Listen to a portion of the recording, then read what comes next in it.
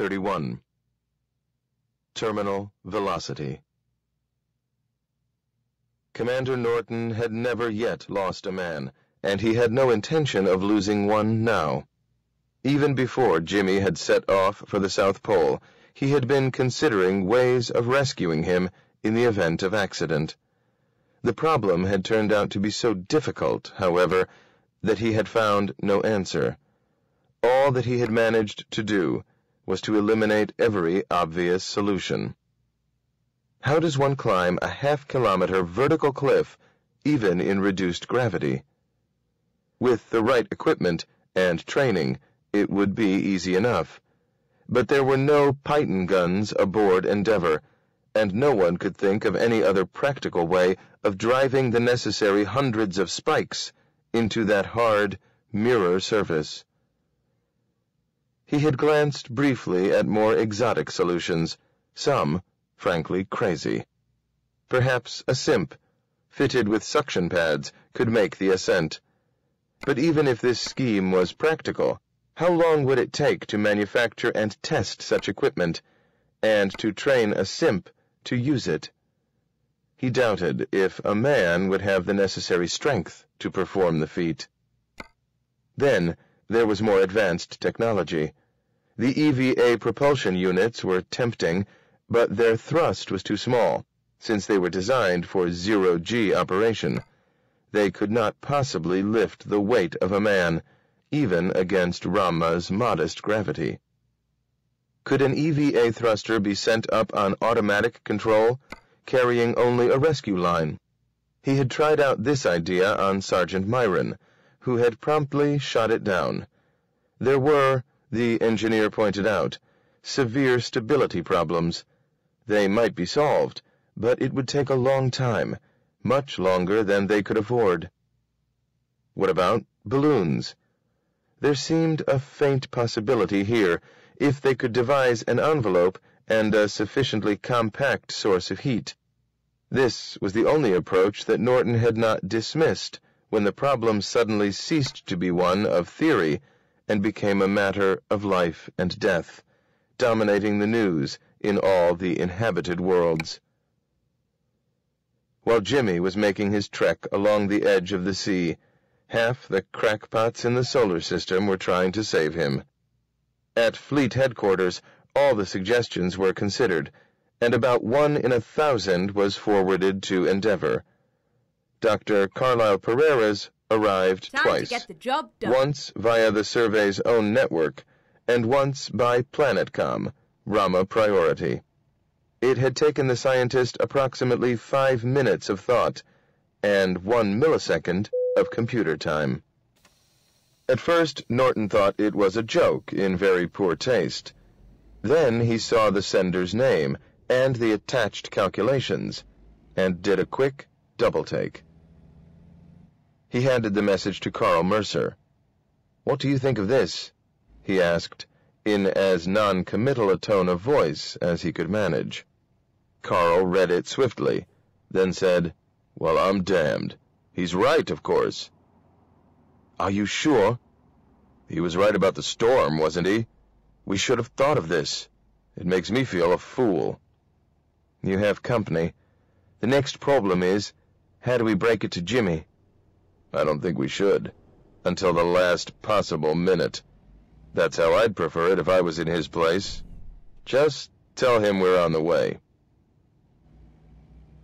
Though he could look across the full width of the cylindrical sea and knew the general direction from which resolution was coming, Jimmy did not spot the tiny craft until it had already passed New York. It seemed incredible that it could carry six men and whatever equipment they had brought to rescue him. When it was only a kilometer away, right, he recognized Commander Norton right. and started waving. A little later, the skipper spotted him and waved back. Turn Glad right. to see you're in good shape, Jimmy, he radioed. I promised we wouldn't leave you behind. Now do you believe me? Not quite, Jimmy thought. Until this moment he had still wondered if this was all a kindly plot to keep up his morale. But the commander would not have crossed the sea Get just to say goodbye. left. He must have worked out something. I'll believe you, Skipper, he said, when I'm down there on the deck. Now, will you tell me how I'm going to make it? Resolution was slowing down a hundred meters from the base of the cliff. As far Turn as Jimmy right. could tell, she carried no unusual equipment, though he was not sure what he had expected to see. Turn left. Sorry about that, Jimmy, but we didn't want you to have too many things to worry about. Now, that sounded ominous. What the devil did he mean? Resolution came to a halt, 50 meters out and 500 below. Jimmy had almost a bird's eye view of the commander as he spoke into his microphone. This is it, Jimmy. You'll be perfectly safe, but it will require nerve. a nice ride. We know you've got plenty of that. You're going to jump. 500 meters? Yes, but at only half a G. So, have you ever fallen 250 on Earth? Shut up or I'll cancel your next leave. You should have worked this out for yourself. It's just a question of terminal velocity. In this atmosphere, you can't reach more than 90 kilometers an hour, whether you fall 200 or 2,000 meters. 90 is a little high for comfort, but we can trim it some more. This is what you'll have to do, so listen carefully. I will, said Jimmy. It had better be good. He did not interrupt the commander again, and made no comment when Norton had finished. Yes, it made sense, and was so absurdly simple that it would take a genius to think of it, and, perhaps, someone who did not expect to do it himself. Jimmy had never tried high diving or made a delayed parachute drop, which would have given him some psychological preparation for this feat. One could tell a man that it was perfectly safe to walk a plank across an abyss, yet even if the structural calculations were impeccable, he might still be Time to hit the unable to do it. Now, Jimmy understood why the commander had been so evasive about the details of the rescue. He had been given no time to brood or to think of objections. I don't want to hurry you, said Norton's persuasive voice from half a kilometer below. But the sooner the better. Jimmy looked at his precious souvenir, the only flower in Rama. He wrapped it carefully in his grimy handkerchief, knotted the fabric, and tossed it over the edge of the cliff. It fluttered down with reassuring slowness, but it also took a very long time, getting smaller and smaller and smaller, until he could no longer Get see ready it. to turn right. But then resolution surged forward, Turn and he right. knew that it had been spotted. Beautiful! exclaimed the commander enthusiastically. I'm sure they'll name it after you. Okay, we're waiting. Jimmy stripped off his shirt, the Get only upper garment anyone ever wore in this Turn now tropical climate, and stretched it thoughtfully. Several times on his trek, he had almost discarded it. Now, Get it might help to to, save right. his life. For the last time, right. he looked back at the hollow world he alone had explored, and the distant, ominous pinnacles of the big and little horns. Then, grasping the shirt firmly with his right hand, he took a running jump as far out over the cliff as he could. Now, there was no particular hurry. He had a full twenty seconds in which to enjoy the experience. But he did not waste any time, as the wind strengthened around him, and resolution slowly expanded in his field of view. Holding his shirt with both hands, he stretched his arms above his head, so that the rushing air filled the garment and blew it into a hollow tube. As a Keep left, parachute, and then it was hardly a success. The few kilometers an hour it subtracted from his speed were useful, but not vital. It was doing a much more important job, keeping his body vertical, so that he would arrow straight into the sea. He still had the impression that he was not moving at all, but that the water below was rushing up toward him. Once he had committed himself, he had no sense of fear. Indeed, he felt a certain indignation against the skipper for keeping him in the dark. Did he really think that he would have been scared to jump if he'd had to brood over it too long? At the last moment, he let go of his shirt, took a deep breath, and grabbed his mouth and nose with his hands. As he had been instructed, he stiffened his body into a rigid bar and locked his feet together. He would enter the water as cleanly as a falling spear. It will be just the same, the commander had promised, as stepping off a diving board on Earth. Nothing to it, if you make a good entry. And if I don't? he had asked. Then you'll have to go back and try again. Something slapped him across the feet. Keep right. Hard, but not viciously. Right. A million slimy hands were tearing at his body. There was a roaring in his ears, a mounting pressure, and even though his eyes were tightly closed, he could tell that darkness was falling as he arrowed down into the depths of the cylindrical sea. With all his strength, he started to swim upward toward the fading light. He could not open his eyes for more than a single blink. The poisonous water felt like acid when he did so. He seemed to have been struggling for ages, and more than once he had a nightmare fear that he had lost his orientation and was really swimming downward. Then he would risk another quick glimpse, and every time the light was stronger. His eyes were still clenched tightly shut when he broke water. He gulped a precious mouthful of air, rolled over on his back, and looked around. Resolution was heading toward him at top speed.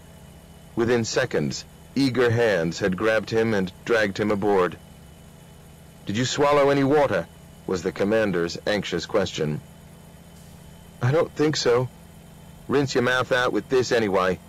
That's fine. How do you feel? I'm not really sure. I'll let you know in a minute. Oh. Thanks, everybody. The minute was barely up when Jimmy was only too sure how he felt. I'm going to be sick, he confessed miserably. His rescuers were incredulous. In a dead calm, on a flat sea? protested Sergeant Barnes, who seemed to regard Jimmy's plight as a direct reflection on her skill. Oh, I'd hardly call it flat, said the commander, waving his arm around at the band of water that circled the sky. But don't be ashamed. You may have swallowed some of that stuff. Get rid of it as quickly as you can. Jimmy was still straining, unheroically and unsuccessfully, when there was a flicker of light in the sky behind them. All eyes turned toward the South Pole, and Jimmy instantly forgot his sickness. The horns had started their fireworks display again. There were the kilometer-long streamers of fire, dancing from the central spike to its smaller companions. Once again they began their stately rotation, as if invisible dancers were winding their ribbons around an electric maypole. But now they began to accelerate, moving faster and faster until they blurred into a flickering cone of light. It was a spectacle more awe-inspiring than any they had yet seen here, and it brought with it a distant crackling roar, which added to the impression of overwhelming power. The display lasted for about five minutes. Then it stopped, as abruptly as if someone had turned a switch. Oh, I'd like to know what the Rama committee make of that. Norton muttered to no one in particular. Has anyone here got any theories? There was no time for an answer, because at that moment, Hub Control called in great excitement.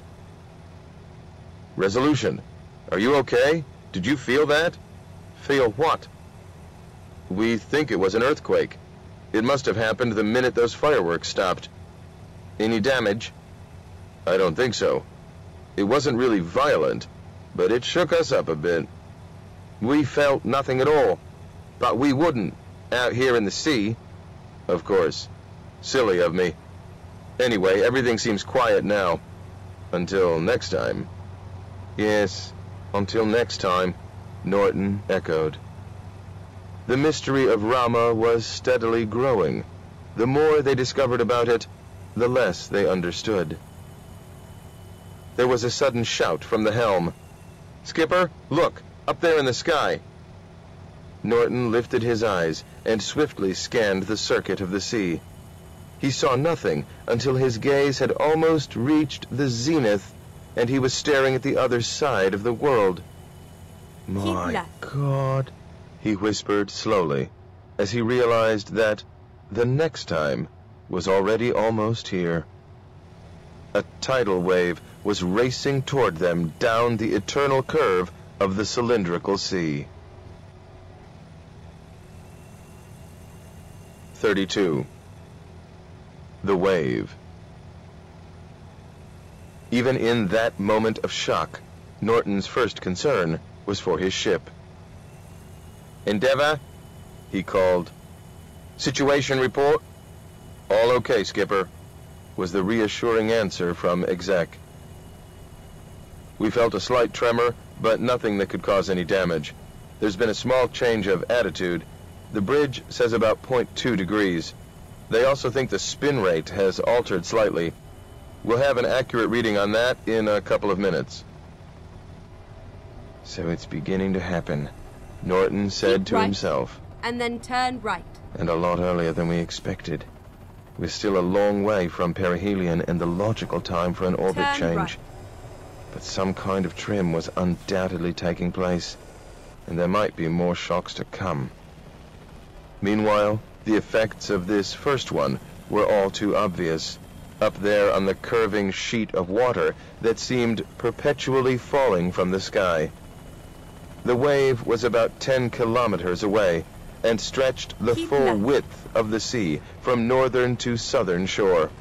Near the land, it was a foaming wall of white, but in deeper water, it was a barely visible blue line, moving much faster than the breakers on either flank.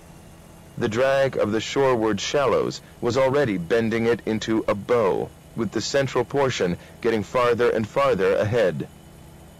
Sergeant, said Norton urgently, this is Keep your left. job. And then What can we do? straight on. Sergeant Barnes had brought the raft completely to rest and was Go studying the on. situation intently.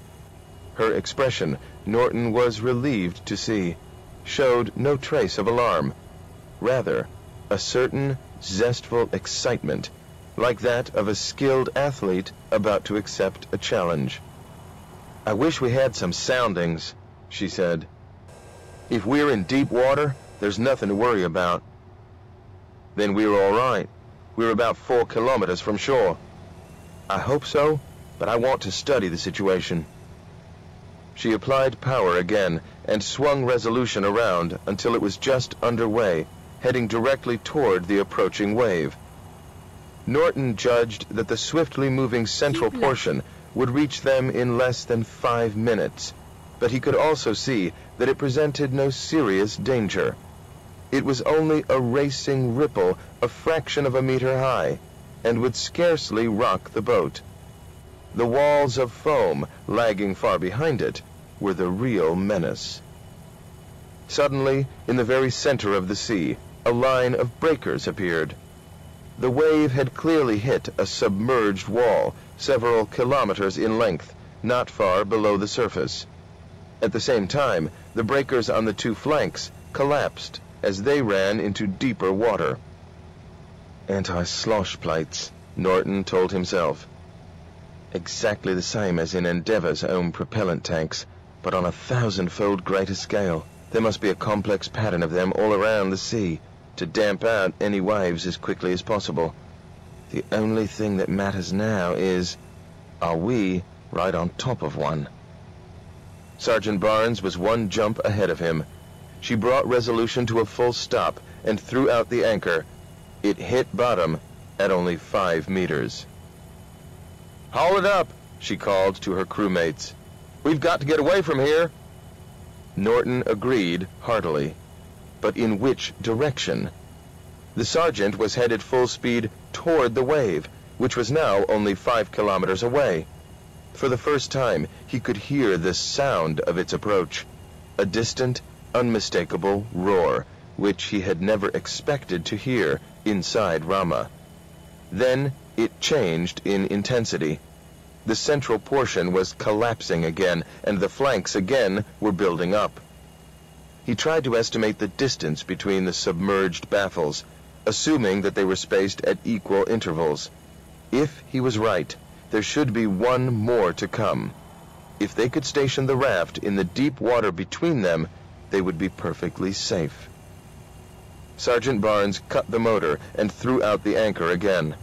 It went down 30 meters without hitting bottom. We're okay, she said, with a sigh of relief. But I'll keep the motor running. Now, there were only the lagging walls of foam along the coast. Out here in the Central Sea, it was calm again, apart from the inconspicuous blue ripple still speeding toward them. The sergeant was just holding resolution on course toward the disturbance, ready to pour on full power at a moment's notice. Then, only two kilometers ahead of them, the sea started to foam once more. It humped up in white-maned fury, and now its roaring seemed to fill the world. Upon the 16-kilometer high wave of the cylindrical sea, a smaller ripple was superimposed, like an avalanche thundering down a mountain slope. And that ripple was quite large enough to kill them. Sergeant Barnes must have seen the expressions on the faces of her crewmates. She shouted above the roar, What are you scared about? I've ridden bigger ones than this. That was not quite true, nor did she add that her earlier experience had been in a well-built surf boat, not an improvised raft. But if we have to jump, wait until I tell you. Check your life jackets. She's magnificent, like a Viking warrior going into battle, and obviously enjoying every minute, thought the commander. And she's probably right unless we've miscalculated badly. The wave continued to rise, curving upward and over. The slope above them probably exaggerated its height, but it looked enormous, an irresistible force of nature that would overwhelm everything in its path. Then, within seconds, it collapsed, as if its foundations had been pulled out from underneath it. It was over the submerged barrier, in deep water again. When it reached them a minute later, Resolution merely bounced up and down a few times before Sergeant Barnes swung her around and set off at top speed toward the north. Thanks, Ruby. That was splendid. But will we get home before it comes around right. for the second time? Probably not. It will be back in about 20 minutes, but it will have lost all its strength then. We'll scarcely notice it. Now that the wave had passed, they could relax and enjoy the voyage, though no one would be completely at ease until they were back on land. The disturbance had left the water swirling in random eddies, and had also stirred up a most peculiar acidic smell, like crushed ants, as Jimmy put it well. Though unpleasant, the odor caused none of the attacks of seasickness that might have been expected. It was something so alien that human physiology could not respond to it. A minute later, the wave front hit the next underwater barrier as it climbed away from them and up the sky. This time, seen from the rear, the spectacle was unimpressive, and the voyagers were ashamed of their previous fears. They began to feel themselves masters of the cylindrical sea.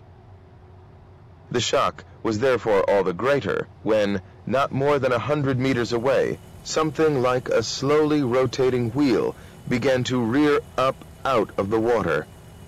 Glittering metallic spokes, five meters long, emerged dripping, spun for a moment in the fierce Raman glare, and splashed back. It was as if a giant starfish with tubular arms had broken the surface.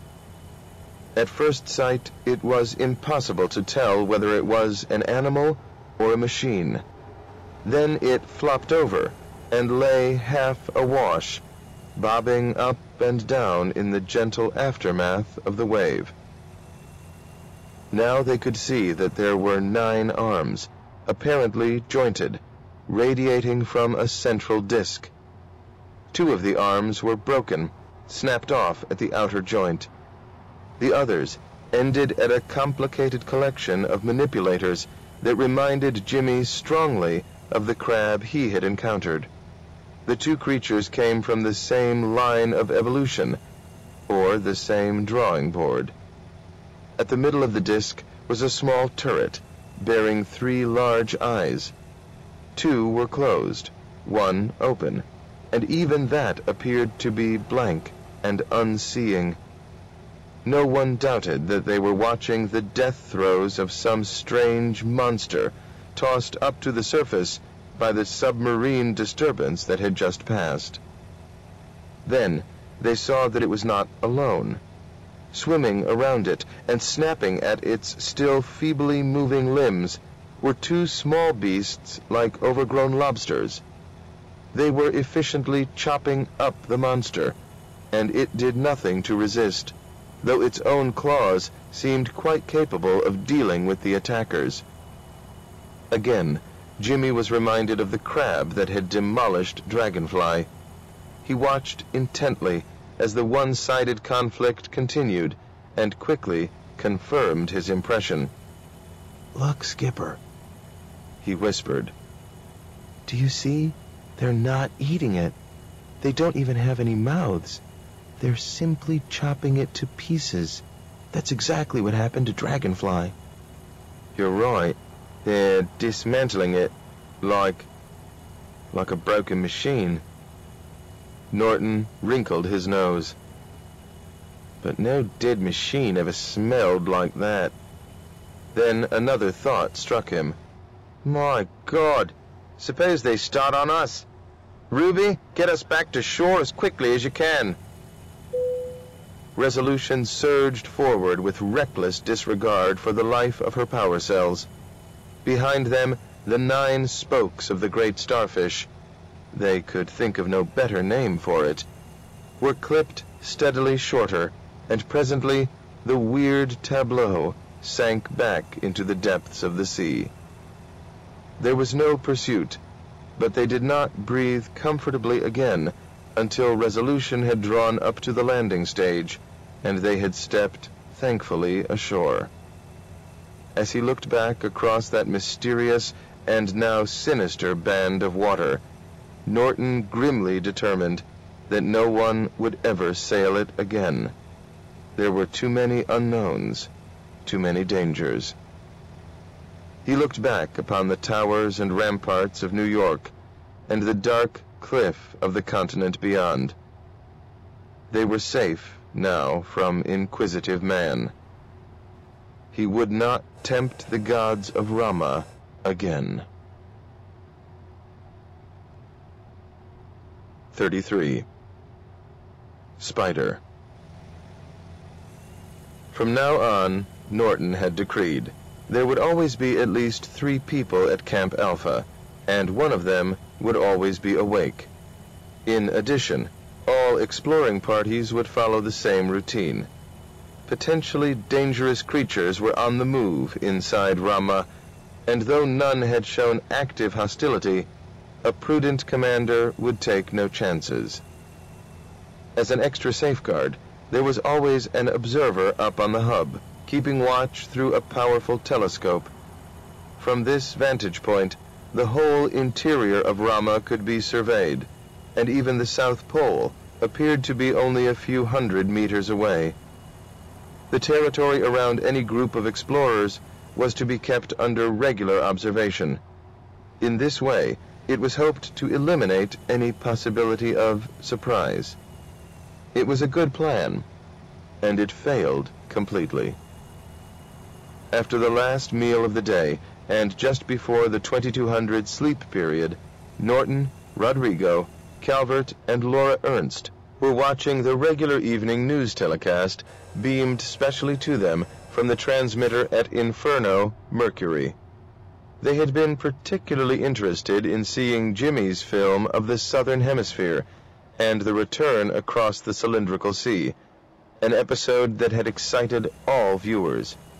Scientists, news commentators, and members of the Rama Committee had given their opinions, most of them contradictory. No one could agree whether the crab-like creature Jimmy had encountered was an animal, a machine, a genuine Raman, or something that fitted none of these categories. They had just been watching, with a distinctly queasy feeling, the giant starfish being demolished by its predators, when they discovered that they were no longer alone. There was an intruder in the camp. Laura Ernst noticed it first. She froze, then said, Don't move, Bill. Now look slowly to the right. Norton turned his head. Ten meters away was a slender-legged tripod surmounted by a spherical body no larger than a soccer ball. Set around the body were three large, expressionless eyes apparently giving 360 degrees of vision, and trailing beneath it were three whip-like tendrils. The creature was not quite as tall as a man, and looked far too fragile to be dangerous, but that did not excuse their carelessness in letting it sneak up on them unawares. It reminded Norton of nothing so much as a three-legged spider, or daddy longlegs, and he wondered how it had solved the problem, never attempted by any creature on Earth, of tripedal locomotion. What do you make of it, Doc? he whispered, turning off the voice of the TV newscaster. Usual Raman threefold symmetry. I don't see how it could hurt us, though those whips might be unpleasant, and they could be poisonous, like uh, coelenterates. Sit tight and see what it does. After regarding them impassively for several minutes, the creature suddenly moved, and now they could understand why they had failed to observe its arrival. It was fast, and it covered the ground with such an extraordinary spinning motion that the human eye and mind had real difficulty in following it. As far as Norton could judge, and only a high-speed camera could settle the matter, each leg in turn acted as a pivot around which the creature whirled its body. And he was not sure, but it also seemed to him that every few steps it reversed its direction of spin, while the three whips flickered over the ground like lightning as it moved. Its top speed, though this also was hard to estimate, seemed to be at least 30 kilometers an hour. It swept swiftly around the camp, examining every item of equipment, delicately touching the improvised beds and chairs and tables, communication gear, food containers, electrosands, cameras, water tanks, tools. There seemed to be nothing that it ignored except the four watchers. Clearly, it was intelligent enough to draw a distinction between humans and their inanimate property its actions gave the unmistakable impression of an extremely methodical curiosity or inquisitiveness. I wish I could examine it, Laura exclaimed in frustration as the creature continued its swift pirouette. Shall we try to catch it? How? Calvert asked, reasonably enough. You know, the way primitive hunters bring down fast-moving animals with a couple of weights whirling around at the end of a rope? It doesn't even hurt them. That I doubt, said Norton. But even if it worked, we can't risk it. We don't know how intelligent this creature is, and a trick like that could easily break its legs. Then we would be in real trouble, from Rama, Earth, and everyone else. But I've got to have a specimen. You may have to be content with Jimmy's flower, unless one of these creatures cooperates with you. Force is out. How would you like it if something landed on Earth and decided that you would make a nice specimen for dissection? I don't want to dissect it, said Laura, not at all convincingly. I only want to examine it. Well, alien visitors might have the same attitude toward you, but you could have a very uncomfortable time before you believed them. We must make no move that could possibly be regarded as threatening. He was quoting from ship's orders, of course, and Laura knew it. The claims of science had a lower priority than those of space diplomacy. In fact, there was no need to bring in such elevated considerations. It was merely a matter of good manners. They were all visitors here, and had never even asked permission to come inside. The creature seemed to have finished its inspection. It made one more high-speed circuit of the camp, then shot off at a tangent toward the stairway. I wonder how it's going to manage the steps, Laura mused. Her question was quickly answered.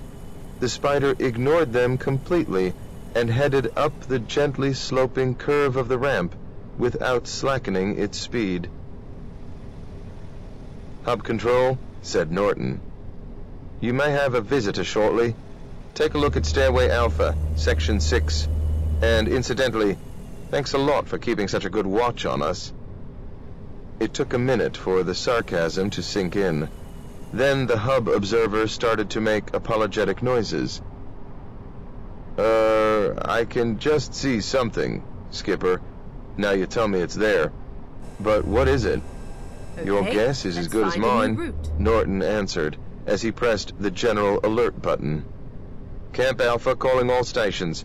We've just been visited by a creature like a three-legged spider with very thin legs, about two meters high, small spherical body, travels very fast with a spinning motion, appears harmless but inquisitive.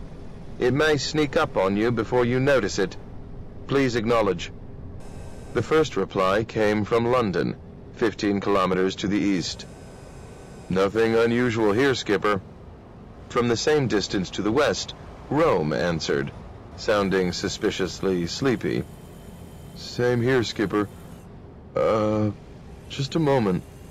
What is it? I put my pen down a minute ago, and it's gone. What? Oh! Talk sense. You won't believe this, Skipper. I was making some notes. You know I like writing, and it doesn't disturb anybody. And I was using my favorite ballpoint. It's nearly 200 years old. Well, now it's lying on the ground, about five meters away. I've got it. Thank goodness it isn't damaged. And how do you suppose it got there? Uh, I may have dozed off for a minute. It's been a hard day. Norton sighed, but refrained from comment. There were so few of them, and they had so little time in which to explore a world. Enthusiasm could not always overcome exhaustion, and he wondered if they were taking unnecessary risks. Perhaps he should not split his men up into such small groups and try to cover so much territory. But he was always conscious of the swiftly passing days and the unsolved mysteries around them. He was becoming more and more certain that something was about to happen, and that they would have to abandon Rama even before it reached perihelion, the moment of truth when any orbit change must surely take place. Now listen, Hub, Rome, London, everyone, he said. I want a report every half hour through the night. We must assume that from now on we may have visitors at any time. Some of them may be dangerous, but at all costs we have to avoid incidents. You all know the directives on this subject. That was true enough. It was part of their training. Yet perhaps none of them had ever really believed that the long theorized physical contact with intelligent aliens would occur in their lifetimes, still less that they would experience it themselves. Training was one thing, reality another, and no one could be sure that the ancient human instincts of self-preservation would not take over in an emergency. Yet it was essential to give every entity they encountered in Rama the benefit of the doubt, up to the last possible minute, and even beyond. Commander Norton did not want to be remembered by history as the man who started the first interplanetary war. Within a few hours, there were hundreds of the spiders, and they were all over the plain. Through the telescope, it could be seen that the southern hemisphere was also infested with them, but not, it seemed, the island of New York. They took no further notice of the explorers, and after a while the explorers took little notice of them, though from time to time Norton detected a predatory gleam in his surgeon commander's eye. Nothing would please her better, he was sure, than for one of the spiders to have an unfortunate accident, and he would not put it past her to arrange such a thing in the interests of science. It seemed virtually certain that the spiders could not be intelligent. Their bodies were far too small to contain much in the way of brains, and indeed it was hard to see where they stored all the energy to move. Yet their behavior was curiously purposeful and coordinated. They appeared to be everywhere, but they never visited the same place twice. Norton frequently had the impression that they were searching for something. Whatever it was, they did not seem to have discovered it. They went all the way up to the central hub, scorning the three great stairways. How they managed to ascend the vertical sections, even under almost zero gravity, was not clear. Laura theorized that they were equipped with suction pads. And then, to her obvious delight, she got her eagerly desired specimen. Hub Control reported that a spider had fallen down the vertical face and was lying, dead or incapacitated, on the first platform. Laura's time up from the plain was a record that would never be beaten. When she arrived at the platform, she found that, despite the low velocity of impact, the creature had broken all its legs. Its eyes were open, but it showed no reactions to any external tests. Even a fresh human corpse would have been livelier, Laura thought. As soon as she got her prize back to the Endeavour, she started to work with her dissecting kit.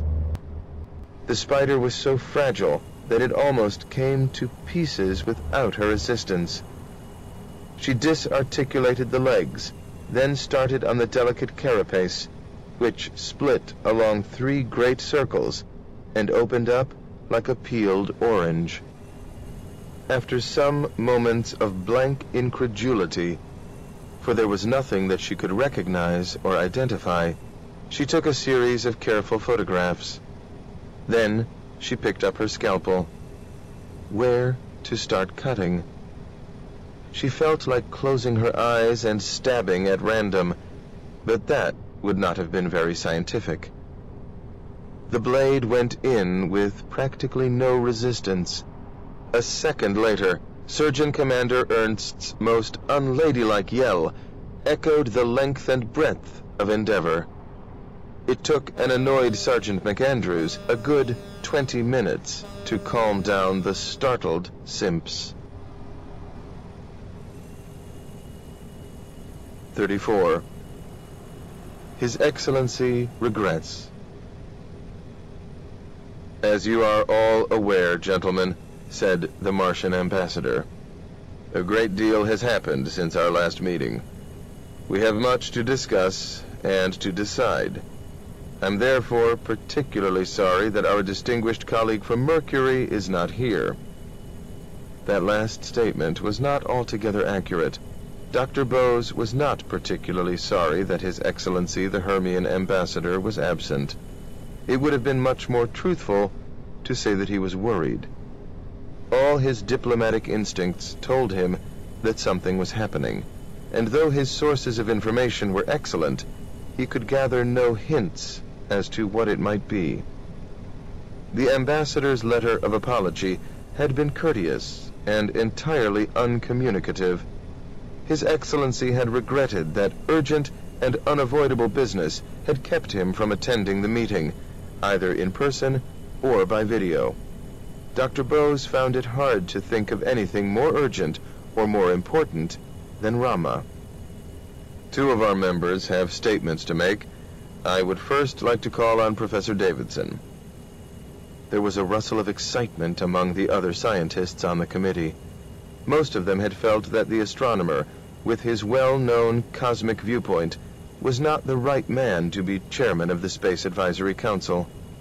He sometimes gave the impression that the activities of intelligent life were an unfortunate irrelevance in the majestic universe of stars and galaxies, and that it was bad manners to pay too much attention to them.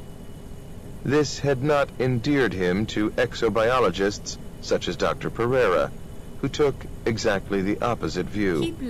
For them, the only purpose of the universe was the production of intelligence, and they were apt to talk sneeringly about purely astronomical phenomena. Mere dead matter was one of their favorite phrases. Mr. Ambassador, the scientist began, I have been analyzing the curious behavior of Rama during the last few days and would like to present my conclusions. Some of them are rather startling. Dr. Perera looked surprised, then a little smug. He strongly approved of anything that startled Davidson. First of all, there was the remarkable series of events when that young lieutenant, he pronounced it lieutenant, flew over to the southern hemisphere.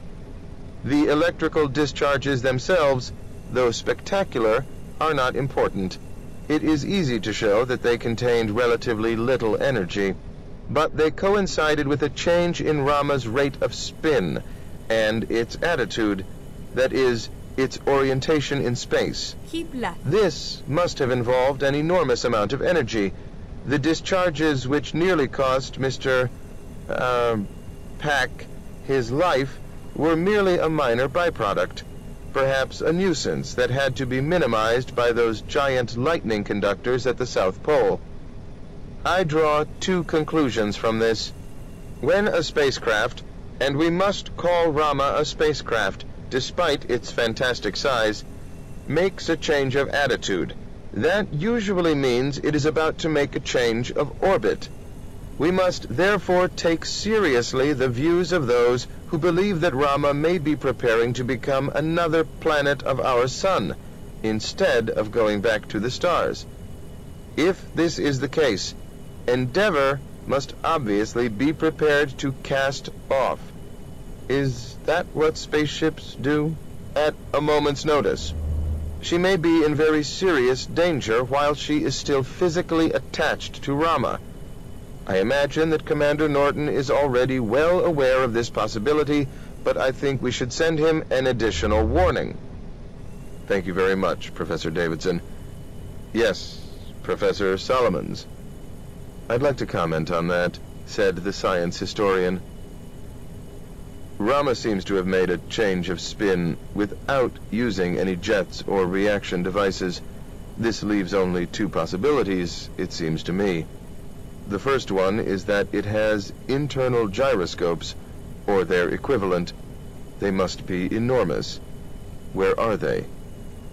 The second possibility, which would turn all our physics upside down, is that it has a reactionless propulsion system, the so-called space drive, which Professor Davidson doesn't believe in.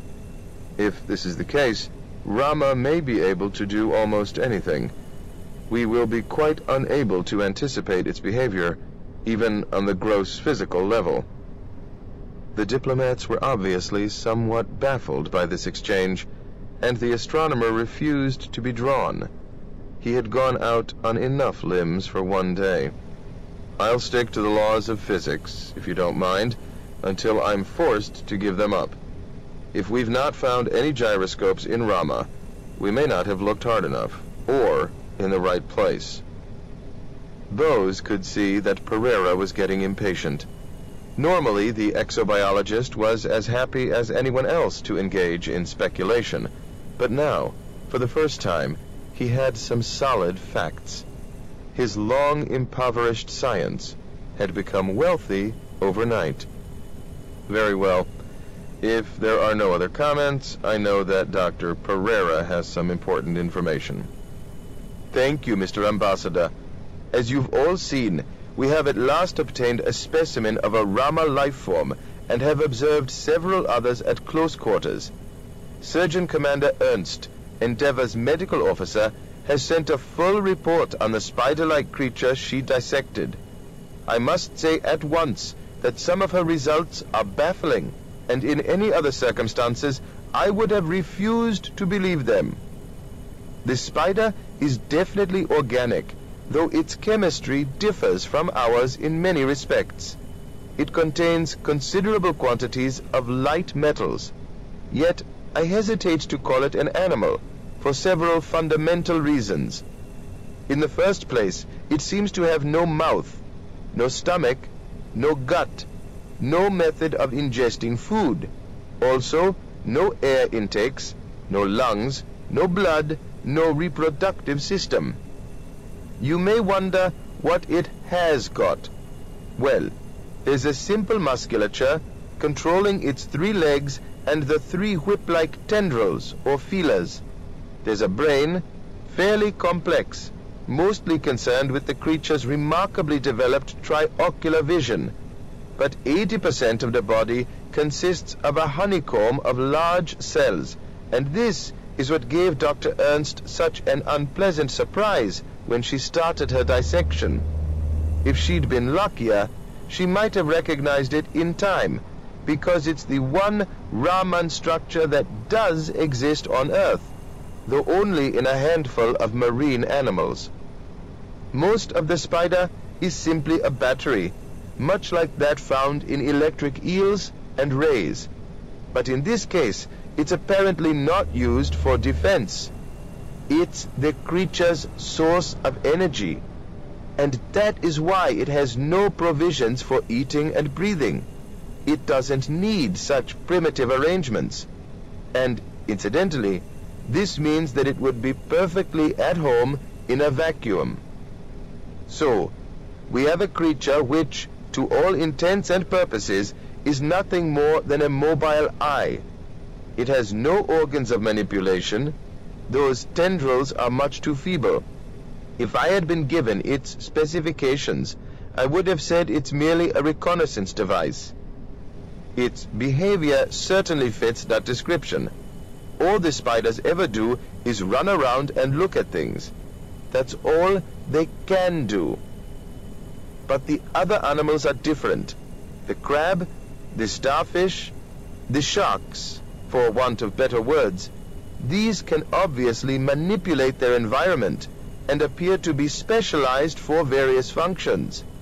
I assume that they are also electrically powered, since, like the spider, they appear to have no mouths.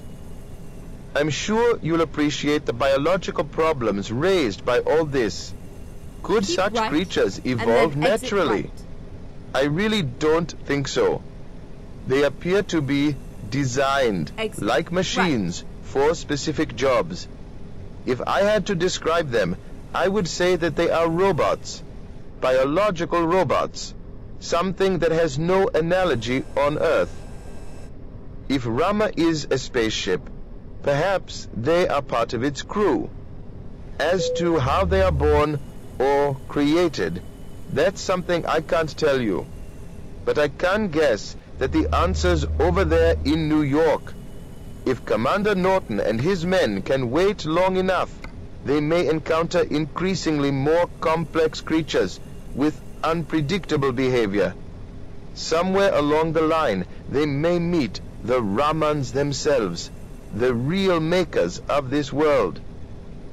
And when that happens, gentlemen, there will be no doubt about it at all. 35.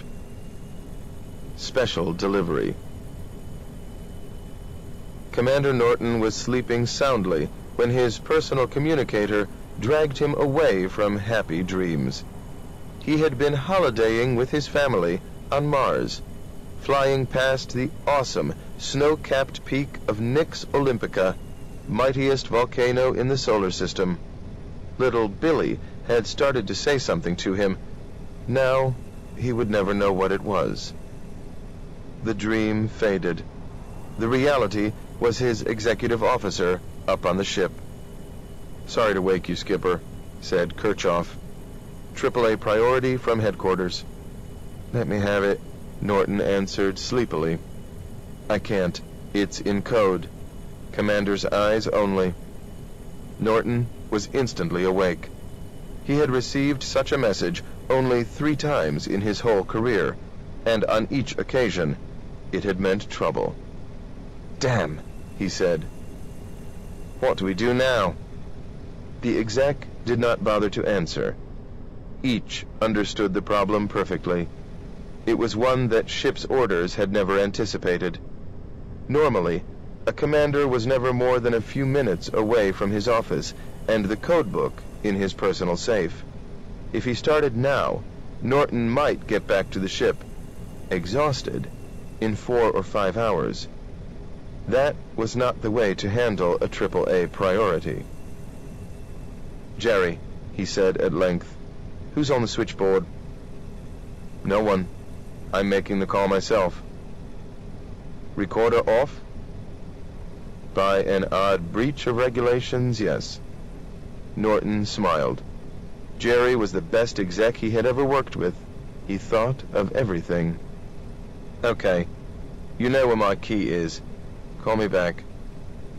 He waited as patiently as he could for the next ten minutes, trying, without much success, to think of other problems. He hated wasting mental effort. It was unlikely that he could guess the message that was coming, and he would know its contents soon enough. Then he could start worrying effectively. When Kirchhoff called back, he was obviously speaking under considerable strain. It's not really urgent, Skipper. An hour won't make any difference. But I prefer to avoid radio. I'll send it down by messenger. But why? Oh, very well. I trust your judgment. Who will carry it through the airlocks? I'm going myself. I'll call you when I reach the hub. Which leaves Laura in charge. For one hour at the most. I'll get right back to the ship. A medical officer did not have the specialized training to be acting captain, any more than a captain could be expected to perform an operation. In emergencies, the two jobs had sometimes been successfully switched, but it was not recommended. Well, one order had already been broken tonight. For the record, you never leave the ship. Have you waked Laura? Yes, she's delighted to have the opportunity. Lucky that doctors are used to keeping secrets. Oh, have you sent the acknowledgement? Of course, in your name. Then I'll be waiting. Now, it was quite impossible to avoid anxious anticipation. Not really urgent, but I prefer to avoid radio. One thing was certain. The commander was not going to get much more sleep this night. 36. Bayat Watcher Sergeant Pieter Rousseau knew why he had volunteered for this job. In many ways, it was a realization of a childhood dream. He had become fascinated by telescopes when he was only six or seven years old, and much of his youth had been spent collecting lenses of all shapes and sizes. These he had mounted in cardboard tubes, making instruments of ever-increasing power until he was familiar with the moon and planets, the nearer space stations, and the entire Really? landscape within 30 kilometers of his home. He had been lucky in his place of birth, among the mountains of Colorado. Right. In almost every direction, the view was spectacular and inexhaustible. He had spent hours exploring, in perfect safety, the peaks that every year took their toll of careless climbers. Though he had seen much, Go he had up. imagined even more. He had liked to pretend that over each crest of rock, beyond the reach of his telescope, were magic kingdoms full of wonderful creatures. And so for years he had avoided visiting the places his lenses brought to him because he knew that the reality could not live up to the dream. Now, on the central axis of Rama, he could survey marvels beyond the wildest fantasies of his youth. A whole world lay spread out before him. A small one, it was true.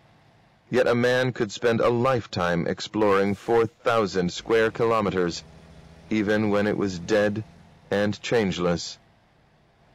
But now life, with all its infinite possibilities, had come to Rama. If the biological robots were not living creatures, they were certainly very good imitations. No one knew who invented the word biot. It seemed to come into instant use by a kind of spontaneous generation. From his vantage point on the hub, Rousseau was biot watcher in chief, and he was beginning, so he believed, to understand some of their behavior patterns. The spiders were mobile sensors, using vision and probably touch to examine the whole interior of Rama. At one time, there had been hundreds of them rushing around at high speed, but after less than two days, most had disappeared.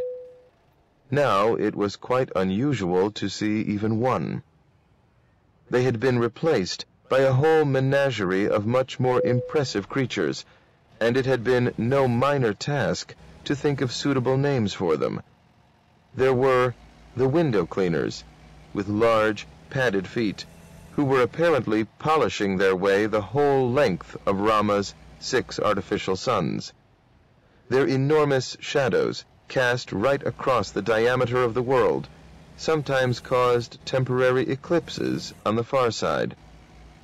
The crab that had demolished Dragonfly seemed to be a scavenger. A relay chain of identical creatures had approached Camp Alpha and carried off all the debris that had been neatly stacked on the outskirts. Right. They would have carried off everything else if Norton and Mercer had not stood firm and defied them. Exit The confrontation had been anxious, but brief. Thereafter, the scavengers seemed to understand what they were allowed to touch, and arrived at regular intervals to see if their services were required. It was a most convenient arrangement, and indicated a high degree of intelligence on the part of either the scavengers themselves or some controlling entity elsewhere. Garbage disposal on Rama was simple. Everything was thrown into the sea, where it was presumably broken down into forms that could be used again. The process was rapid. Resolution had disappeared overnight, to the great annoyance of Ruby Barnes.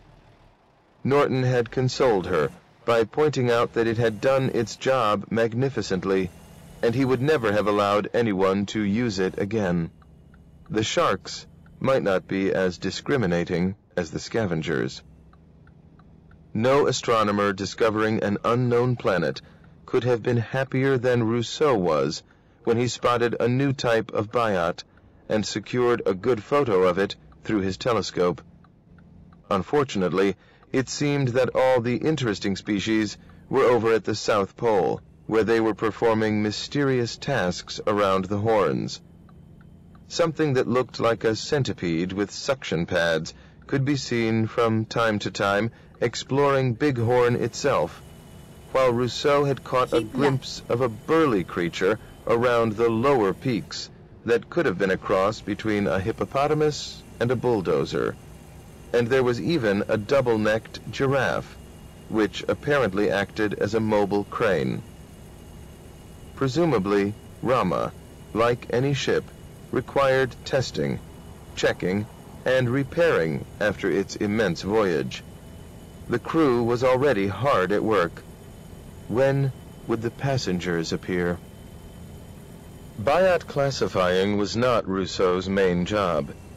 His orders were to keep watch on the two or three exploring parties that were always out, to see that they did not get into trouble, and to warn them if anything approached.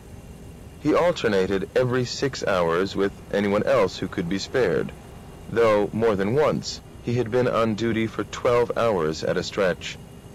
As a result, he now knew the geography of Rama better than any other man who would ever live. It was as familiar to him as the Colorado mountains of his youth.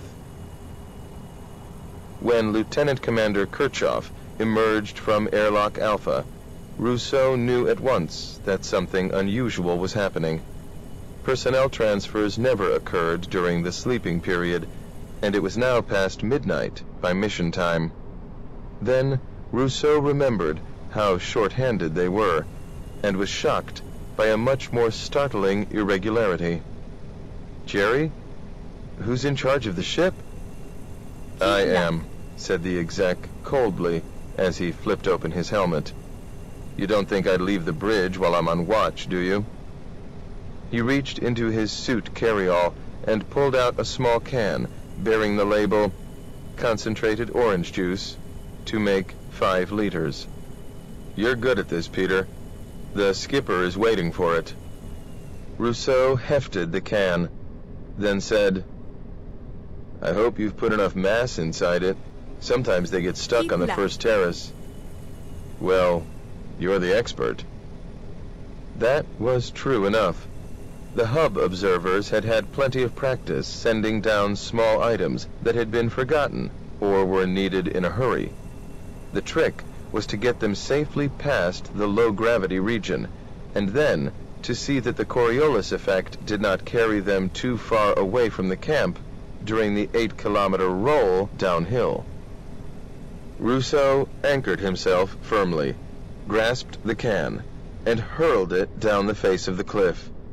He did not aim directly toward Camp Alpha, but almost 30 degrees away from it.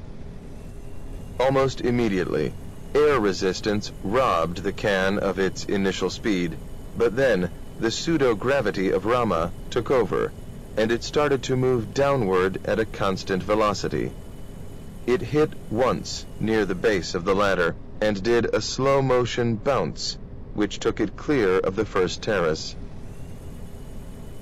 It's okay now, said Rousseau. Like to make a bet? No, was the prompt reply. You know the odds. You're no sportsman, but I'll tell you now, it will stop within 300 meters of the camp. That doesn't sound very close. You might try it sometime. I once saw Joe miss by a couple of kilometers. The can was no longer bouncing.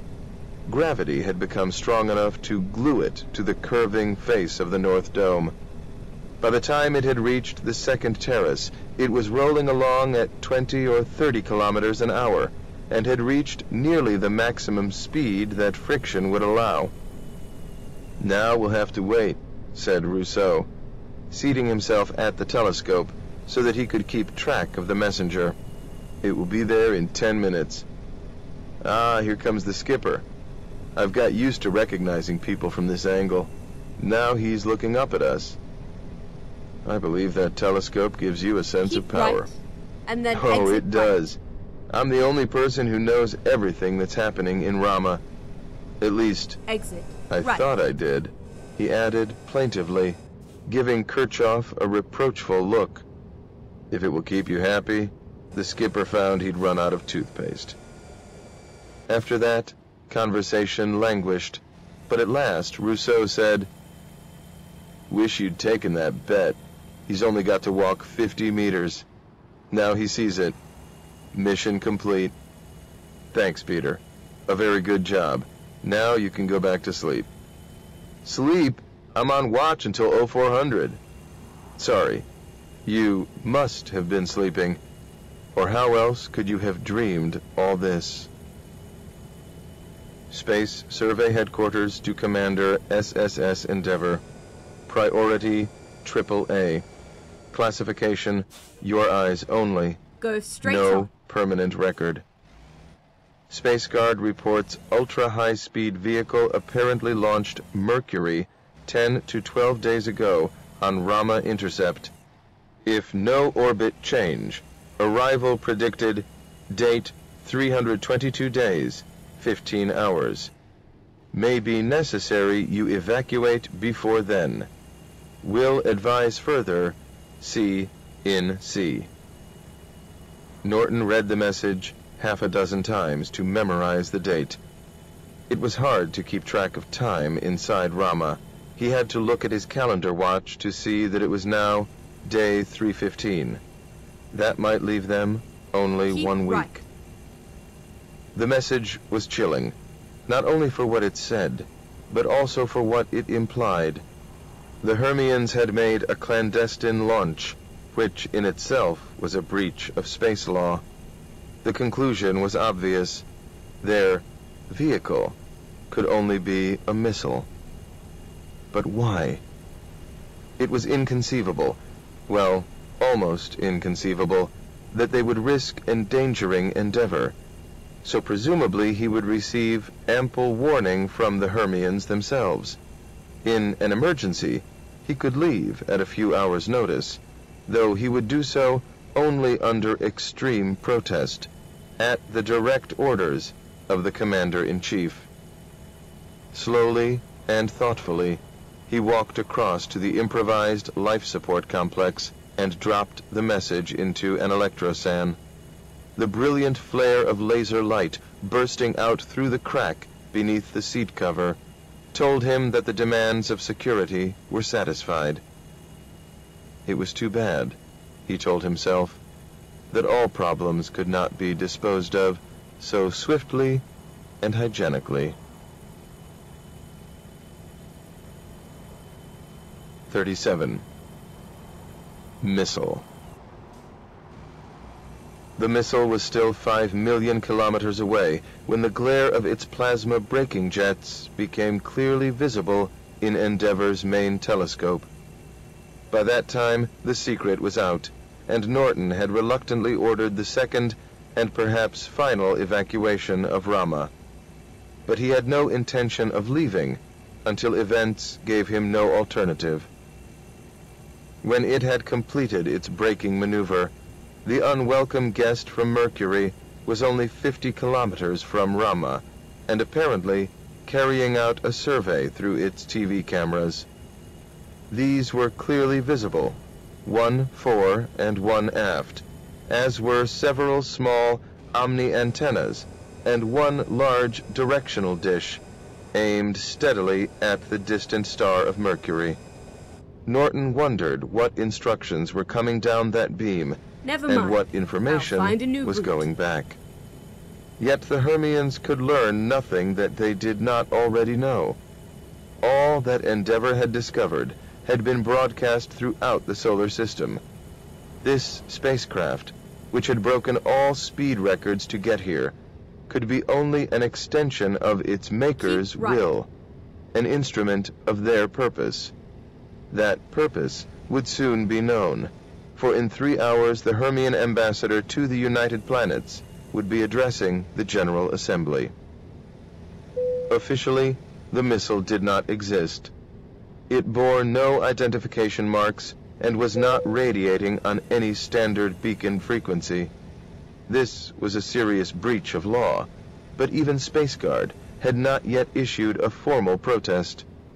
Everyone was waiting, with nervous impatience, to see what Mercury would do next. It had been three days since the missile's existence and origin had been announced. All that time, the Hermians had remained stubbornly silent. They could be good at that when it suited them. Some psychologists had claimed that it was almost impossible to understand fully the mentality of anyone born and bred on Mercury. Forever exiled from Earth by its three times more powerful gravity, Hermians could stand on the moon and look across the narrow gap to the planet of their ancestors, even of their own parents. But they could never visit it. And so, inevitably, they claimed that they did not want to. They pretended to despise the soft rains, the rolling fields, the lakes and seas, the blue skies, all the things that they could know only through recordings. Because their planet was drenched with such solar energy that the daytime temperature often reached 600 degrees, they affected a rather swaggering toughness that did not bear a moment's serious examination. In fact, they tended to be physically weak, since they could survive only if they were totally insulated from their environment. Even if he could have tolerated the gravity, a Hermian would have been quickly incapacitated by a hot day in any equatorial country on Earth. Yet, in matters that really counted, they were Keep tough. The psychological pressures of that ravening star so close at hand, the engineering problems of tearing into a stubborn planet and wrenching from it all the necessities of life. These had produced a Spartan and, in many ways, highly admirable culture.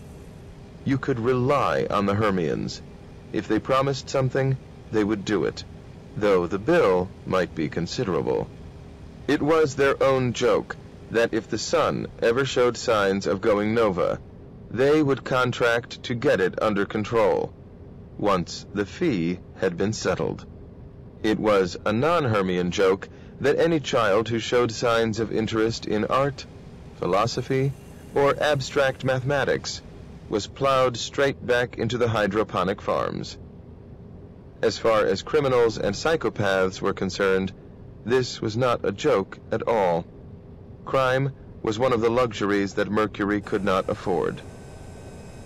Commander Norton had been to Mercury once, had been enormously impressed, like most visitors, and had acquired many Hermian friends.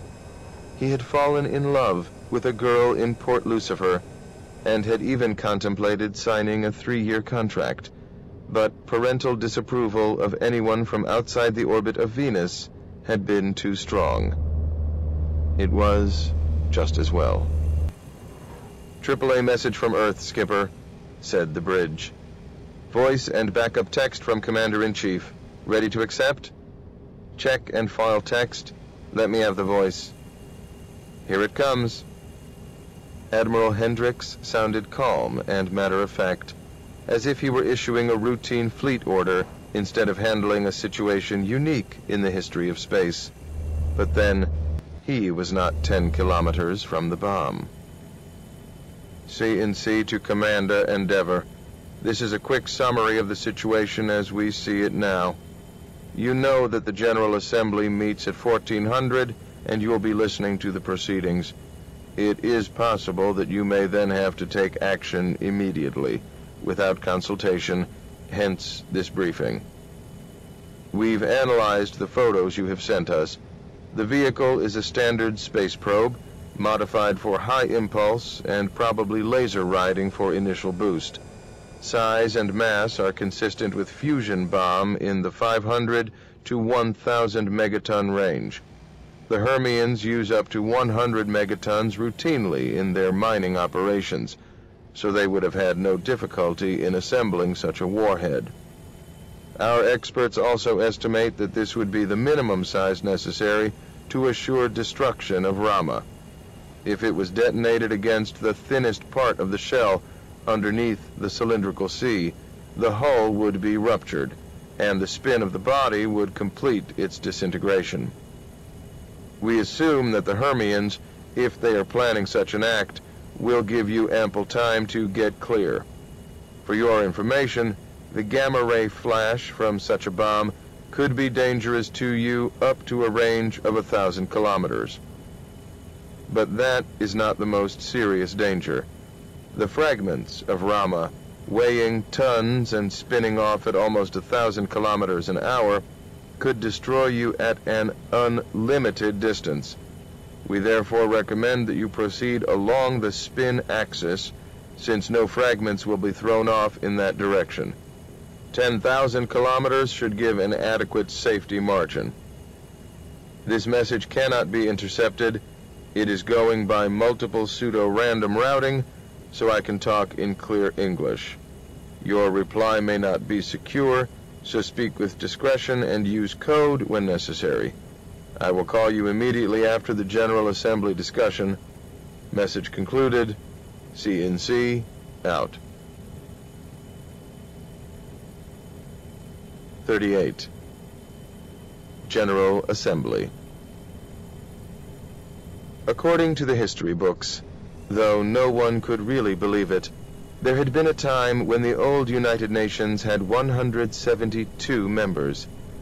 The United Planets had only seven, and that was sometimes bad enough. In order of distance from the Sun, they were Mercury, Earth, Luna, Mars, Ganymede, Titan, and Triton. The list contained numerous omissions and ambiguities which presumably the future would rectify. Critics never tired of pointing out that most of the United Planets were not planets at all, but satellites. And how ridiculous that the four giants, Jupiter, Saturn, Uranus, and Neptune, were not included. But no one lived on the gas giants, and quite possibly no one ever would. The same might be true of the other major absentee, Venus. Even the most enthusiastic of planetary engineers agreed that it would take centuries to tame Venus. Meanwhile, the Hermians kept their eyes on it, and doubtless brooded over long-range plans. Separate representation for Earth and Luna had also been a bone of contention. The other members argued that it put too much power in one corner of the solar system. But there were more people on the moon than on all the other worlds, except Earth itself, and it was the meeting place of the UP. Moreover, Earth and Moon hardly ever agreed on anything, so they were not likely to constitute a dangerous bloc. Mars held the asteroids in trust except for the Icarian group, supervised by Mercury, and a handful with perihelions beyond Saturn, and thus claimed by Titan. One day, the larger asteroids, such as Pallas, Vesta, Juno, and Ceres, would be important enough to have their own ambassadors, and the membership of the UP would then reach two figures. Ganymede represented not only Jupiter, and therefore more mass than all the rest of the solar system put together, but also the remaining 50 or so Jovian satellites, if one included temporary captures from the asteroid belt, though lawyers were still arguing over this. In the same way, Titan took care of Saturn, its rings, and the other 30-plus satellites. The situation for Triton was even more complicated. The large moon of Neptune was the outermost body in the solar system under permanent habitation. As a result, its ambassador wore a considerable number of hats. He represented Uranus and its eight moons, none yet occupied, Neptune and its other three satellites, Pluto and its solitary moon, and Keep lonely, right, moonless Persephone. right. If there were planets beyond Persephone, they, too, would be Triton's responsibility. And as if that was not enough, the ambassador Exit. from outer Right. darkness, as he was sometimes called, had been heard to ask Keep right, plaintively, and then What about right. comets? It was generally felt that this Turn problem could be left for the future to solve. And yet, in a real sense, that future was already here. By some definitions, Rama was a comet. They were the only other visitors from the interstellar deeps, and many had traveled on hyperbolic orbits even closer to the sun than Rama's. Any space lawyer could make a good case out of that, and the Hermian ambassador was one of the best. Go straight on. We recognize His Excellency the Ambassador from Mercury. Because the delegates were arranged counterclockwise in order of distance from the Sun, the Hermian was on the President's extreme right. up to the very last minute he had been interfacing with his computer. Now, he removed the synchronizing spectacles that allowed no one else to read the message on the display screen. He picked up his sheaf of notes and rose briskly to his feet. Mr. President, distinguished fellow delegates, I would like to begin with a brief summary of the situation which now confronts us. From some delegates, that phrase, a brief summary, would have evoked silent Go groans from on, all listeners, right. but everyone knew that Hermians meant exactly what they said. Keep right, and then turn The right. giant spaceship or artificial asteroid which has been christened Rama right. was detected over a year ago in the region beyond Jupiter. At first, it was believed to be a natural body, moving on a hyperbolic orbit that would take it around the sun and onto the stars. When its true nature was discovered, the solar survey vessel Endeavour was ordered to rendezvous with it. I am sure we will all want to congratulate Commander Norton and his crew for the efficient way in which they have carried out their unique assignment. At first, it was believed that Rama was dead, frozen for so many hundreds of thousands of years that there was no possibility of on. revival. This may still be true in a strictly biological sense. There seems general agreement among those who have studied the matter that no living organism of any complexity can survive more than a few centuries of suspended animation. Even at absolute zero, residual quantum effects eventually erase too much cellular information to make revival possible. It therefore appeared that, although Rama was of enormous archaeological importance, it did not present any major astropolitical problems. It is now obvious that this was a very naive attitude, though even from the first, there were some who pointed out that Rama was too precisely aimed at the sun for pure chance to be involved. Even so, it might have been argued, indeed it was argued, that here was an experiment that had failed.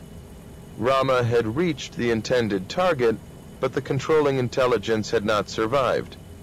This view also seems very simple-minded. It surely underestimates the entities we are dealing with. What we failed to take into account was the possibility of non-biological survival. If we accept Dr. Perera's very plausible theory, which certainly fits all the facts, the creatures who have been observed inside Rama did not exist until a short time ago. Keep left, Their and then patterns turn left. or templates were stored in some central information bank, and when the time was Turn ripe, left. they were manufactured from available raw materials, presumably the organometallic soup of the cylindrical sea. Such a feat is still somewhat beyond our own ability, but does not present any theoretical problems. We know that solid-state circuits, unlike living matter, can store information without loss for indefinite periods of time. So Rama is now in full operating condition, serving the purpose of its builders, whoever they may be. From our point of view, it does not matter if the Ramans themselves have all been dead for a million years, or whether they, too, will be recreated to join their servants at any moment. With or without them, their will is being done, Ready and will roll. continue to be done. Rama has now given proof that its propulsion system is still operating. In a few days, it will be at perihelion, where it would logically make any major orbit change. We may therefore soon have a new planet, moving through the solar space over which my government has jurisdiction.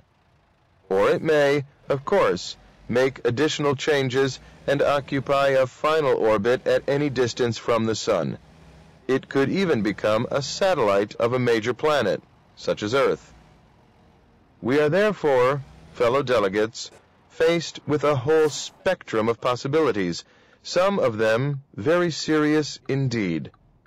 It is foolish to pretend that these creatures must be benevolent and will not interfere with us in any way.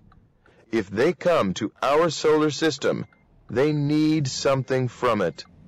Even if it is only scientific knowledge, consider how that knowledge may be used. What confronts us now is a technology hundreds, perhaps thousands of years Okay. in advance of ours, and a culture that may have no points of contact with ours whatsoever.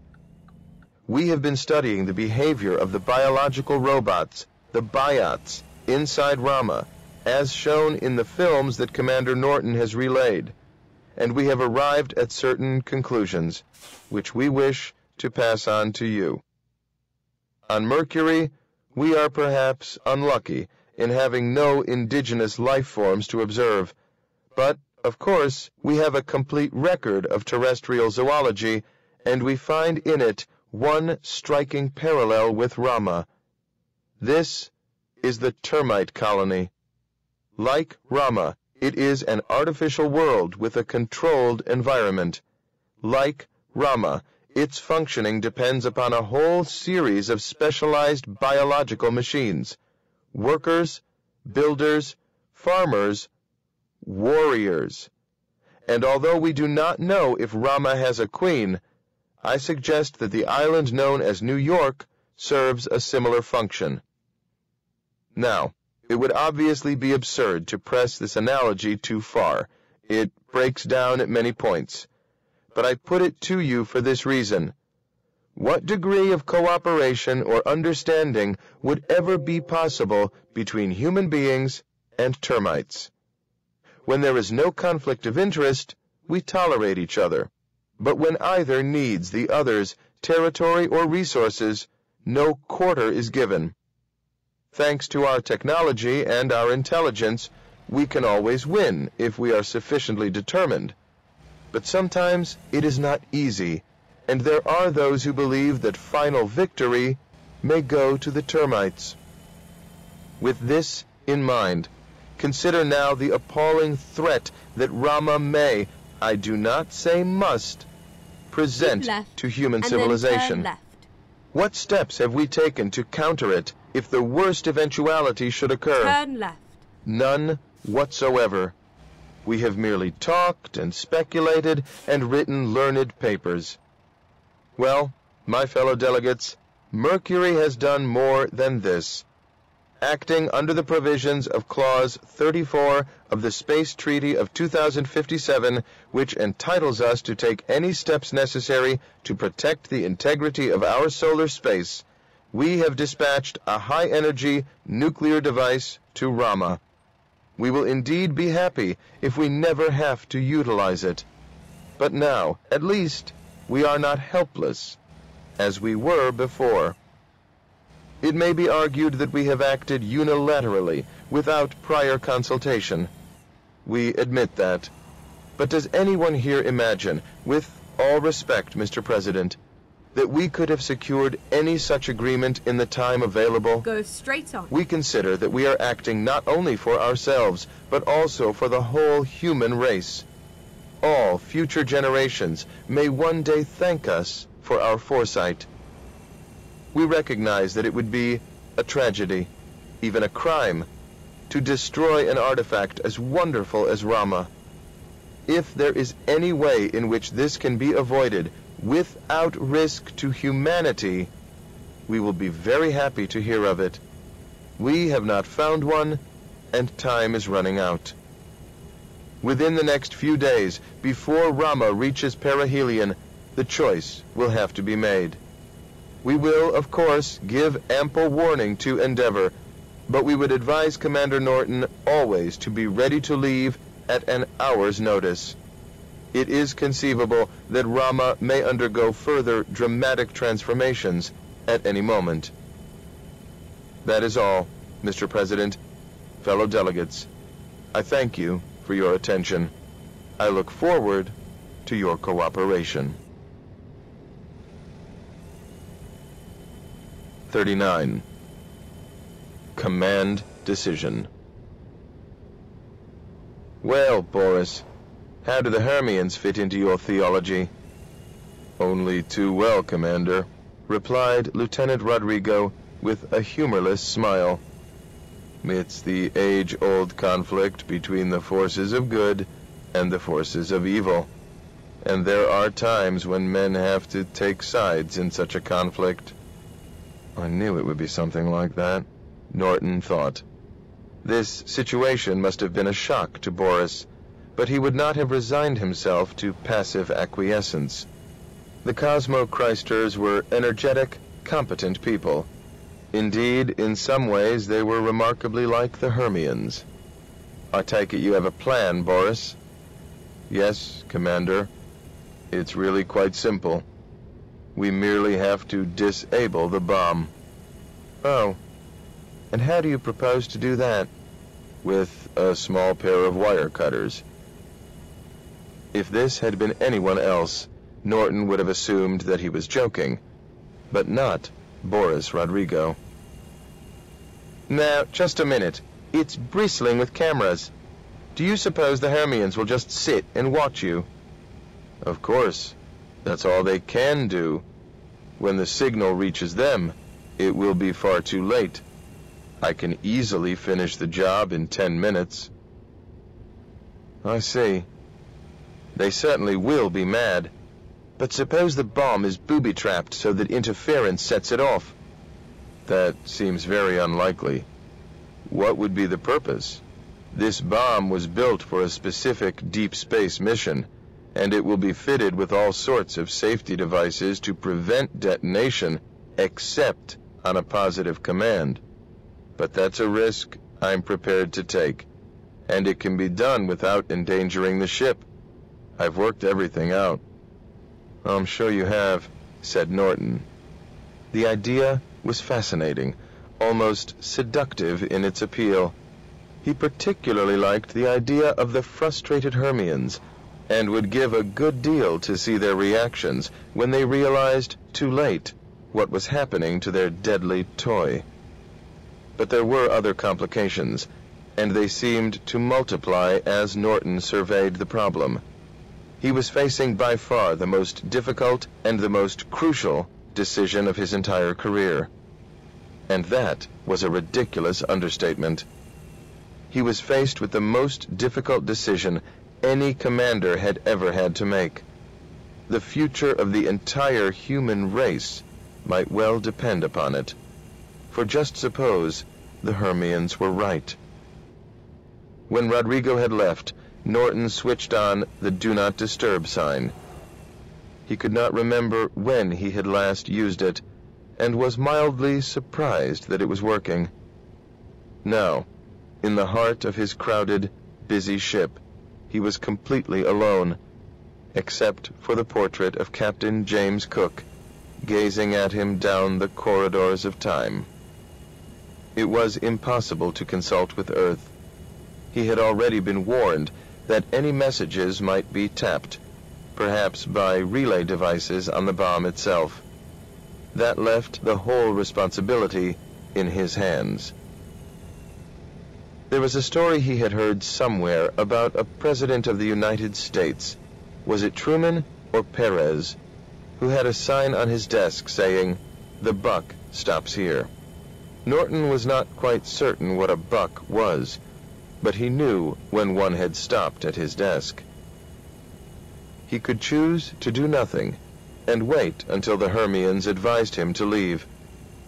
How would that look in the histories of the future? Though Norton was not greatly concerned with posthumous fame or infamy, he would not care to be remembered forever as the accessory to a cosmic crime that it had been in his power to prevent. And the plan was flawless. As he would have expected, Rodrigo had worked out every detail, anticipated every possibility, even the remote danger that the bomb might be triggered when tampered with. If that happened, Endeavor could still be safe, behind the shield of Rama. As for Rodrigo himself, he seemed to regard the possibility of instant apotheosis with complete equanimity. Yet, even if the bomb was successfully disabled, that would be far from the end of the matter. the Hermians might try again, unless some way could be found of stopping them. But at least weeks of time would have been bought. Rama would be far past perihelion before another missile could possibly reach it. By then, the worst fears of the alarmists might have been disproved. Or the reverse. To act or not act, that was the question. Never before had Norton felt such a close kinship with the Prince of Denmark. Whatever he did, the possibilities for good or evil seemed in perfect balance. He was faced with the most morally difficult of all decisions. If his choice was wrong, he would know very quickly. But if he was right, he might never be able to prove it. It was no use relying any further on logical arguments and the endless mapping of alternative futures. That way, one could go around in circles forever. The time had come to listen to his inner voices. He returned the calm, steady gaze of Cook from across the centuries. I agree with you, Captain, he whispered. The human race has to live with its conscience. Whatever the Hermians argue, survival is not everything. He pressed the call button for the bridge circuit and said slowly, Lieutenant Rodrigo, I'd like to see you. Then he closed his eyes, hooked his thumbs in the restraining straps of his chair, and prepared to enjoy a few moments of total relaxation. It might be some time before he would experience it again. 40. Saboteur the scooter had been stripped of all unnecessary equipment. It was now merely an open framework holding together propulsion, guidance, and life support systems. Even the seat for the second pilot Keep had left, been removed, and then turn for left. every kilogram of extra mass had to be paid for in mission time. That Turn was one of the reasons, though not the most important, why Rodrigo had insisted on going alone. It was such a simple job that there was no need for extra hands, and the mass of a passenger would cost several minutes of flight time. Now, the stripped-down scooter could accelerate at over a third of a gravity. It could make the trip from Endeavour to the bomb in four minutes. That left six to spare. It should be sufficient. Rodrigo looked back only once when he had left the ship. He saw that, as planned, it had lifted from the central axis and was thrusting gently away across the spinning disk of the north face. By the time he reached the bomb, it would have placed the thickness of Rama between them. He took his time flying over the polar plain. There was no hurry here because the bomb's cameras could not yet see him, and he could therefore conserve fuel. Then he drifted over the curving rim of the world, and there was the missile, glittering in sunlight, fiercer even than that shining on the planet of its birth.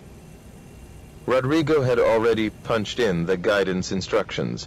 Now he initiated the sequence, and the scooter spun on its gyros and came up to full thrust in a matter of seconds. At first, the sensation of weight seemed crushing. Then Rodrigo adjusted to it. He had, after all, comfortably endured twice as much inside Rama, and had been born under three times as much on Earth. The huge, curving exterior wall of the 50-kilometer cylinder was slowly falling away beneath him as the scooter aimed itself directly at the bomb. Yet it was impossible to judge Rama's size, since it was completely smooth and so lacking in features that it was difficult to tell that it was spinning. 100 seconds into the mission, he was approaching the halfway point. The bomb was too far away to show any details, but it was much brighter against the jet black sky. It was strange to see no stars, not even brilliant Earth or dazzling Venus. The dark filters which protected his eyes against the deadly glare made that impossible. Rodrigo guessed that he was breaking a record. Probably no other man had ever engaged in extravehicular work so close to the sun. It was lucky for him that solar activity was low. At 2 minutes 10 seconds, the flip-over light started flashing. Thrust dropped to zero, and the scooter spun through 180 degrees. Full thrust was back in an instant, but now he was decelerating at the same mad rate of 3 meters per second squared. Rather better than that, in fact, since he had lost almost half his propellant mass. The bomb was 25 kilometers away. He would be there in another two minutes. He had hit a top speed of 1,500 kilometers per hour, which, for a space scooter, was utter insanity, and probably another record. But this was hardly a routine EVA, and he knew precisely what he was doing. The bomb was growing, and now he could see the main antenna holding steady on the invisible star of Mercury. Along that beam, the image of his approaching scooter had been flashing at the speed of light for the last three minutes. There were still two to go before it reached Mercury. What would the Hermians do when they saw him? There would be consternation, of course. They would realize instantly that he had made a rendezvous with the bomb several minutes before they even knew he was on the way. Probably some standby observer would call higher authority. That would take more time. But even in the worst possible case, even if the officer on duty had authority to detonate the bomb and pressed the button immediately, it would take another five minutes for the signal to arrive. Though Rodrigo was not gambling on it, Cosmo Christers never gambled. He was quite sure that there would be no such instantaneous reaction. The Hermians would hesitate to destroy a reconnaissance vehicle from Endeavour, even if they suspected its motives. They would certainly attempt some form of communication first, and that would mean more delay. And there was an even better reason. They would not waste a gigaton bomb on a mere scooter. Wasted it would be if it was detonated 20 kilometers from its target. They would have to move it first. Oh, he had plenty of time. But he would continue to assume the worst. He would act as if the triggering impulse were going to arrive in the shortest possible time. Just five minutes. As the scooter closed in across the last few hundred meters, Rodrigo quickly matched the details he could now see with those he had studied in the photographs taken at long range. What had been only a collection of pictures became hard metal and smooth plastic, no longer abstract, but a deadly keep reality. Left, and then turn left. The bomb was a cylinder about 10 meters long and 3 turn in left. diameter by a strange coincidence, almost the same proportions as those of Rama. It was attached to the framework of the carrier vehicle by an open latticework of short I-beams.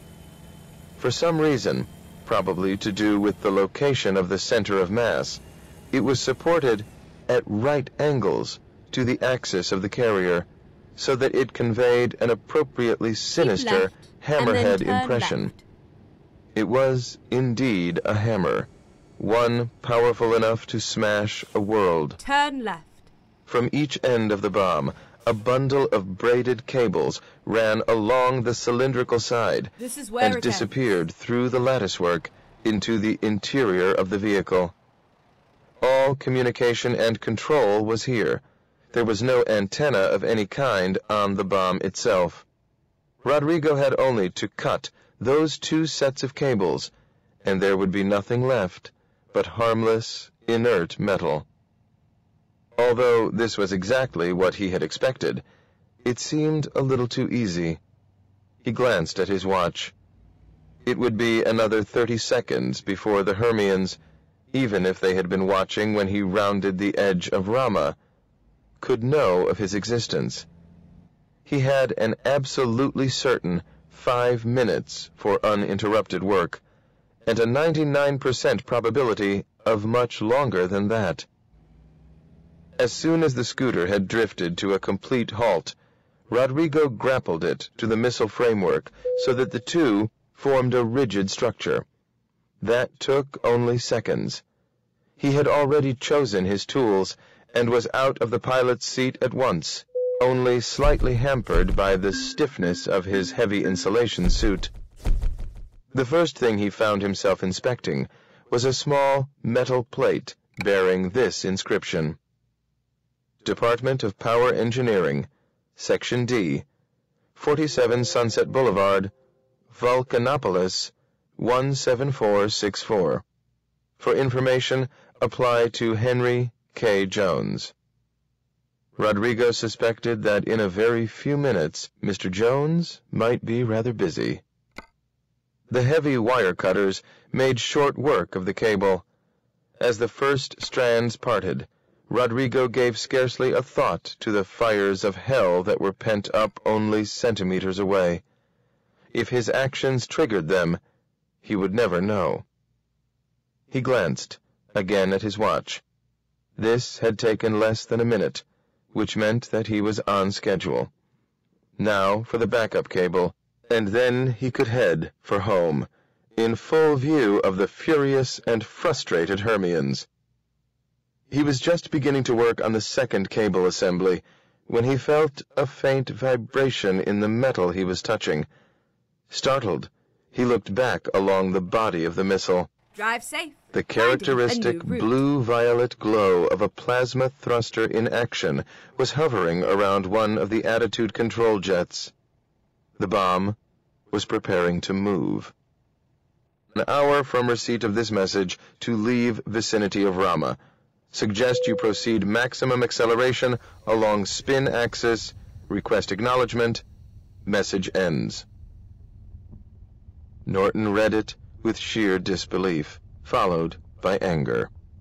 He felt a childish impulse to radio back that all his crew were inside Rama and it would take hours to get everyone out.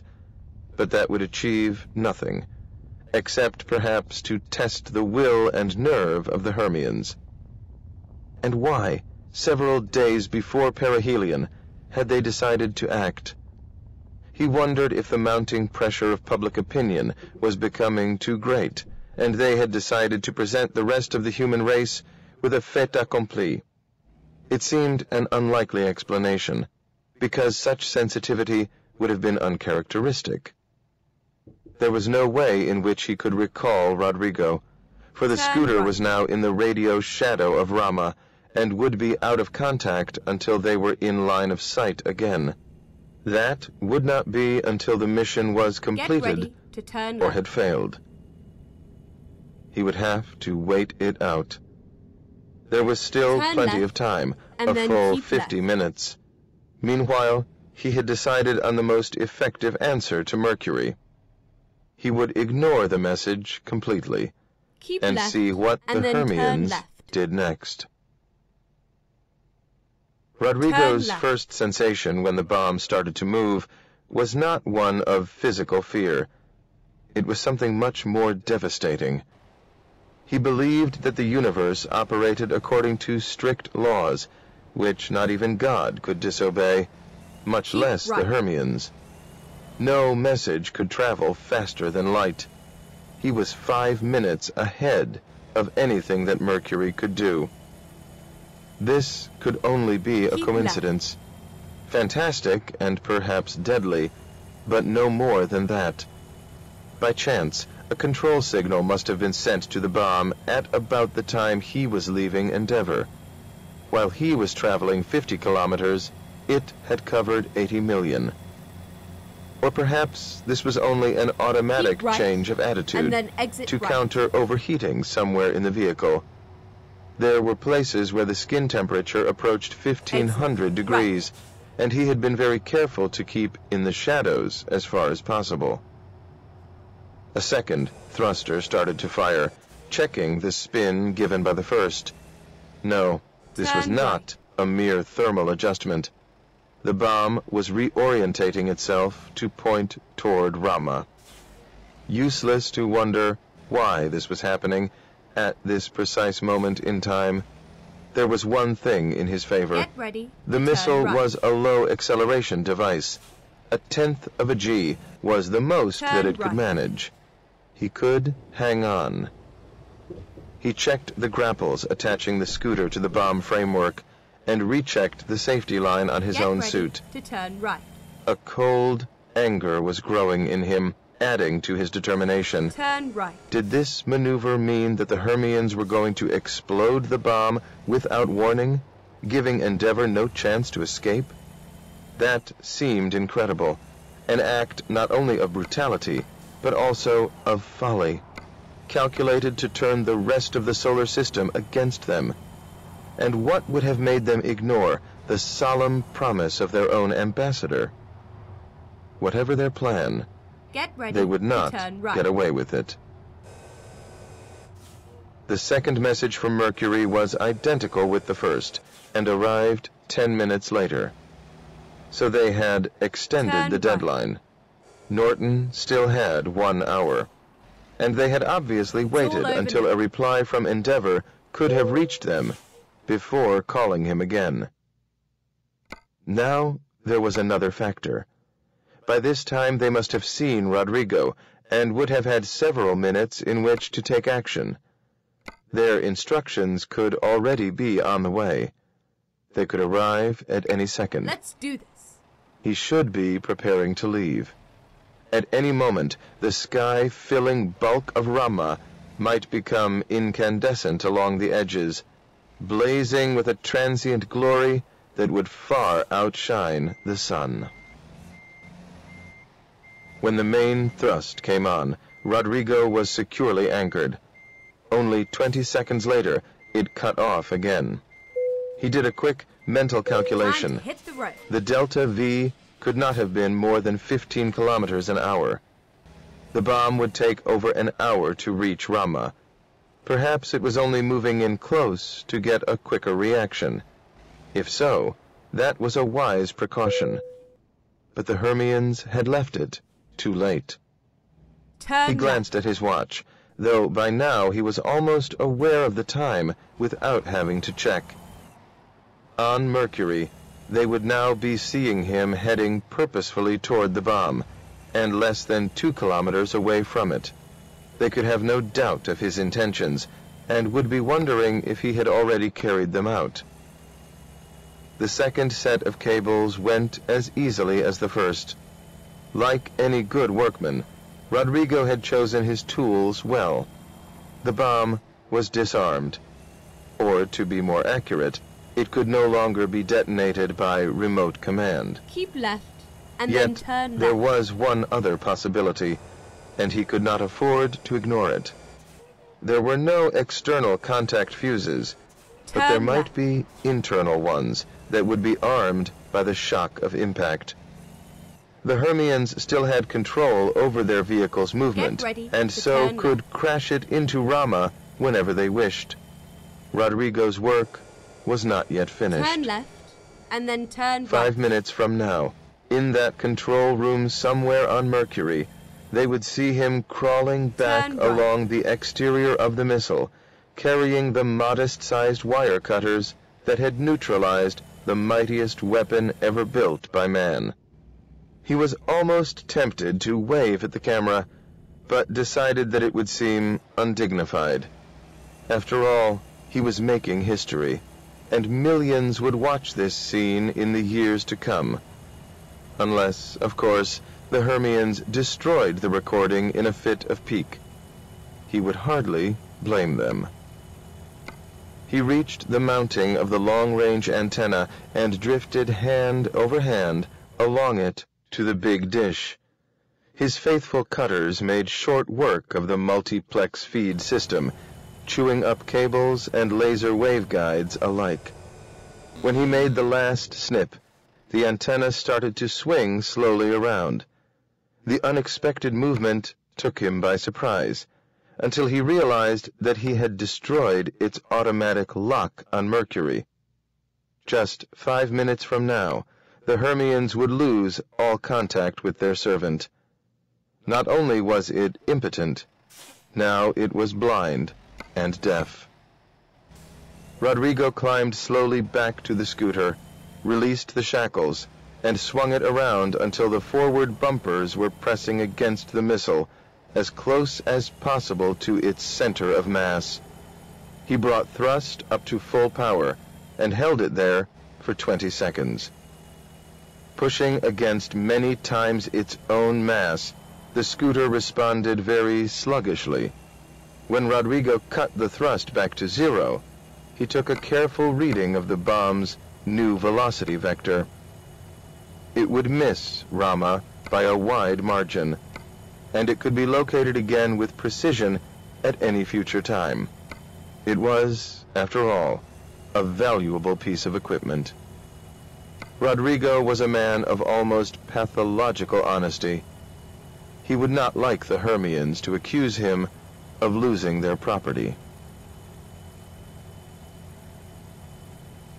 41. Hero Darling, began Norton, this nonsense has cost us more than a day, but at least it's given me a chance to talk to you. I'm still in the ship, and she's heading back to station at the polar axis. We picked up Boris an hour ago, looking as if he'd just come off duty after a quiet watch. I suppose neither of us will ever be able to visit Mercury again, and I'm wondering if we're going to be treated as heroes or villains when we get back to Earth. But my conscience is clear. I'm sure we did the right thing. I wonder if the Ramans will ever say, thank you. We can stay here only two more days. Unlike Rama, we don't have a kilometer-thick skin to protect us from the sun. The hull's already developing dangerous hotspots, and we've had to put out some local screening. I'm sorry. I didn't want to bore you with my problems. So there's time for just one more trip into Rama, and I intend to make the most of it. But don't worry, I'm not taking any chances. He stopped the recording. That, to say the least, was stretching the truth. There was danger and uncertainty about every moment inside Rama. No man could ever feel really at home there, in the presence of forces beyond his understanding. And on this final trip, now that he knew they would never return and that no future operations would be jeopardized, he intended to press his luck just a little further. Keep left. In 48 hours, then, we'll have completed this mission. What happens after that is uncertain. As you know, we've used virtually all our fuel getting into this orbit. I'm still waiting to hear if a tanker can rendezvous with us in time to get back to Earth or whether we'll have to make planetfall on Mars. Anyway, I should be home by Christmas. Tell Junior I'm sorry I can't bring a baby Biot. There's no such animal. We're all fine, but we're very tired. I've earned a long leave after all this, and we'll make up for lost time. Whatever they say about me, you can claim you're married to a hero. How many wives have a husband who saved a world? As always, he listened carefully to the tape before duping it, to make sure that it was applicable to both his families.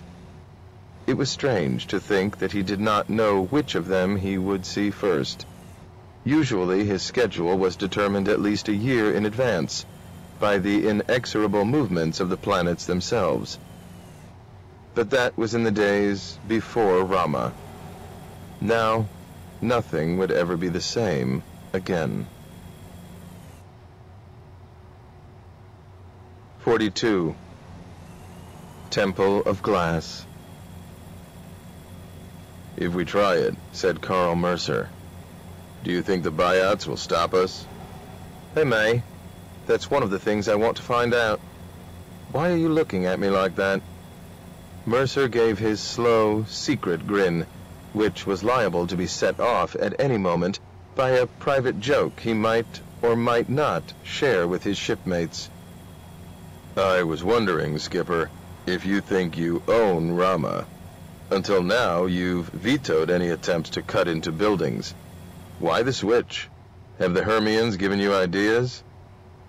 Norton laughed, then suddenly checked himself. It was a shrewd question, and he was not sure if the obvious answers were the right ones. Perhaps I have been ultra cautious. I've tried to avoid trouble. But this is our last chance. If we're forced to retreat, we won't have lost much. Assuming that we retreat in good order. Of course.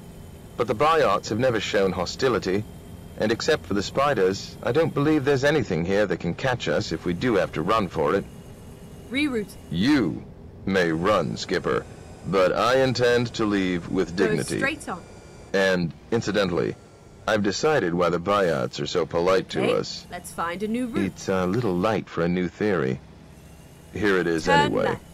They think we're Ramans. They Never can't tell the difference I'll between one new route. oxy-eater and another. Recompute. I don't believe they're that stupid. It's not a matter of stupidity. They've been programmed for their particular jobs, and we simply don't come into their When frame of reference. Make a U-turn. Perhaps you're right. We may find out as soon as we start work on London. Joe Calvert had always enjoyed those old bank robbery movies, but he had never expected to be involved in one. Yet this was, essentially, what he was doing now. The deserted streets of London seemed full of menace, though he knew that was only his guilty conscience. He did not really believe that the sealed and windowless structures ranged all around them were full of watchful inhabitants, waiting to emerge in angry hordes as soon as the invaders laid a hand on their property. Never mind. In fact, I'll find a he was route. quite certain that this whole complex, Turn like left. all the other towns, was merely some kind Get of storage area. Right. But a second fear, also Turn based on innumerable ancient crime dramas, could be better grounded. Though there might Get be ready no clanging alarm bells and screaming sirens, it was reasonable to assume that Rama would have some kind of warning system. How otherwise did the Biots know when and where their services were needed? Those without goggles, turn your backs, ordered Willard Myron. There was a smell of nitric oxides as the air itself started to burn in the beam of the laser torch, and a steady sizzling as the fiery knife sliced toward secrets that had been hidden since the birth of man. Nothing material could resist this concentration of power, and the cut proceeded smoothly at a rate of several meters a minute. In a remarkably short time, a section large enough to admit a man had been sliced out. Since the cutaway section showed no sign of moving, Myron tapped it gently, then harder, then banged on it with all his strength. It fell inward with a hollow, reverberating crash. Once again, as he had done during that first entrance into Rama, Norton remembered the archaeologist who had opened the old Egyptian tomb. He did not expect to see the glitter of gold. In fact, he had no preconceived ideas at all as he crawled through the opening, his flashlight held in front of him. A Greek temple made of glass. That was his first impression.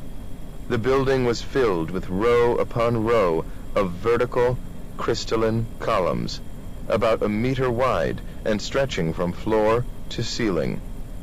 There were hundreds of them marching away into the darkness beyond the reach of his light. He walked toward the nearest column and directed his beam into its interior. Refracted as through a cylindrical lens, the light fanned out on the far side to be focused and refocused, getting fainter with each repetition, in the array of pillars beyond. He felt that he was in the middle of some complicated demonstration in optics. Very pretty, said the practical Mercer. But what does it mean? Who needs a forest of glass pillars? Norton rapped gently on the column. It sounded solid, though more metallic than crystalline. He was completely baffled, and so he followed a piece of useful advice he had heard long ago. When in doubt, say nothing and move on. As he reached the next column, which looked exactly like the first, he heard an exclamation of surprise from Mercer. I could have sworn this pillar was empty. Now there's something inside it. Norton glanced quickly back. Where? he said. I don't see anything. He followed the direction of Mercer's pointing finger. It was aimed at nothing. The column was completely transparent. You can't see it? said Mercer incredulously. Come around to this side. Damn! Now I've lost it. What's going on here? demanded Calvert. It was several minutes before he got even an approximation of an answer. The columns were not transparent from every angle, or under all illuminations. As one walked around them, objects would suddenly flash into view, apparently embedded in their depths like flies in amber, and would then disappear again. There were dozens of them, all different. They looked absolutely real and solid, yet many seemed to occupy the identical volume of space. Holograms, said Calvert. Just like a museum on Earth. That was the obvious explanation, and therefore Norton viewed it with suspicion. His doubts grew as he examined the other columns and conjured up the images stored in their interiors. Hand tools, though for huge and peculiar hands. Containers, small machines with keyboards that appeared to have been made for more than five fingers. Scientific instruments, startlingly conventional domestic utensils, including knives and plates that, apart from their size, would not have attracted a second glance on any terrestrial table. They were all there, with hundreds of less identifiable objects, often jumbled up together in the same pillar. A museum, surely, would have some logical arrangement, some segregation of related items. This seems to be a completely random collection of hardware. They had photographed the elusive images inside a score of the crystal pillars when the sheer variety of items gave Norton a clue. Perhaps this was not a collection, but a catalog, indexed according to some arbitrary but perfectly logical system. He thought of the wild juxtapositions that any dictionary or alphabetized list will give, and tried the idea on his companions. I see what you mean, said Mercer. The Ramans might be equally surprised to find us putting, uh, camshafts next to cameras. Or books beside boots, added Calvert after several seconds of hard thinking. One could play this game for hours, he decided, with increasing degrees of impropriety. That's the idea, replied Norton. This may be an indexed catalog for 3D images, templates, solid blueprints, if you like to call them that. For what purpose? Well, you know the theory about the biots the idea that they don't exist until they're needed, and then they're created, synthesized, from patterns stored somewhere? Keep left. I see, said Mercer, and he went on slowly and thoughtfully. So when a Raman needs a left-handed blivet, he punches out the correct code number and a copy is manufactured from the pattern in here. Something like that. But please don't ask me about the practical details. Keep right. The pillars through which they had been moving had been steadily growing in size, and were now more than two meters in diameter. The images were correspondingly larger. Keep right. It was obvious that, for doubtless excellent reasons, the Ramans believed in sticking to a one-to-one scale. Norton wondered how they stored anything really big, if this was the case. To increase their rate of coverage, the four explorers had now spread out through the crystal columns and were taking photographs as quickly as they could get their cameras focused on the fleeting images. This was an astonishing piece of luck, Norton told himself, though he felt that he had earned it. They could not possibly have made a better choice than this illustrated catalog of Raman artifacts. And yet, in another way, it could hardly have been more frustrating. There was nothing actually here except impalpable patterns of light and darkness. These apparently solid objects did not really exist. Even knowing this, more than once Norton felt an almost irresistible urge to laser his way into one of the pillars so that he could have something material to take back to Earth. It was the same impulse, he thought wryly, that would prompt a monkey to grab the reflection of a banana in a mirror. He was photographing what seemed to be some kind of optical device when Calvert's shout started him running through the pillars. Skipper, Karl, Will, look at this. Calvert was prone to sudden enthusiasms, but what he had found now was enough to justify any amount of excitement. Inside one of the two-meter columns was an elaborate harness, or uniform, obviously made for a vertically standing creature much taller than a man. A very narrow central metal band apparently surrounded the waist, thorax, or some division unknown to terrestrial zoology. From this rose three slim columns, tapering outward and ending in a perfectly circular belt, an impressive Okay, meter in diameter. Loops equally spaced along it Keep could left, be intended only to go around upper limbs or arms. Three Go straight of on. them. Rerouting. There were numerous pouches, buckles, bandoliers right, from which tools right. or weapons protruded.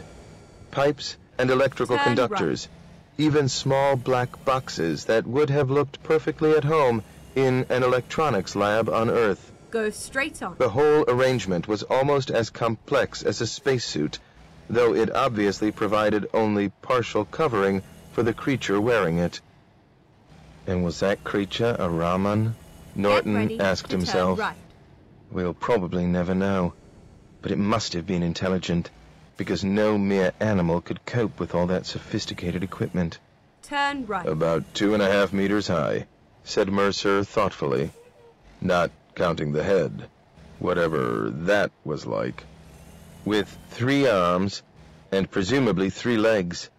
The same plan as the spiders, on a much more massive scale. Do you suppose that's a coincidence? Probably not. We design robots in our own image. We might expect the Ramans to do the same. Myron, unusually subdued, was looking at the display with something like awe. Do you suppose they know we're here? He half whispered. I doubt it, said Mercer. We've not even reached their threshold of consciousness, though the Hermians certainly had a good try. They were standing there, unable to drag themselves away, when Rousseau called from the hub, his voice full of urgent concern. Skipper, you'd better get outside. What is it? Biot's heading this way? No, something much more serious. The lights are going out. 43. Retreat. When he hastily emerged from the hole they had lasered, it seemed to Norton that the six suns of Rama were as brilliant as ever. Surely, he thought, Rousseau must have made a mistake, though that was not like him at all.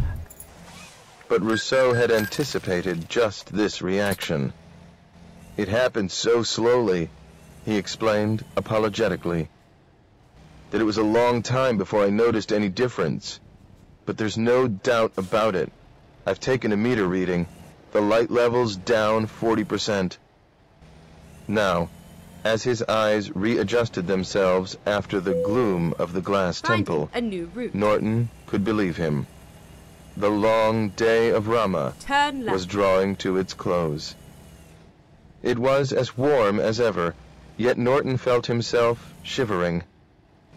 He had known this sensation once before, right. during a beautiful right. summer day on Earth. There had been an inexplicable weakening of light, right.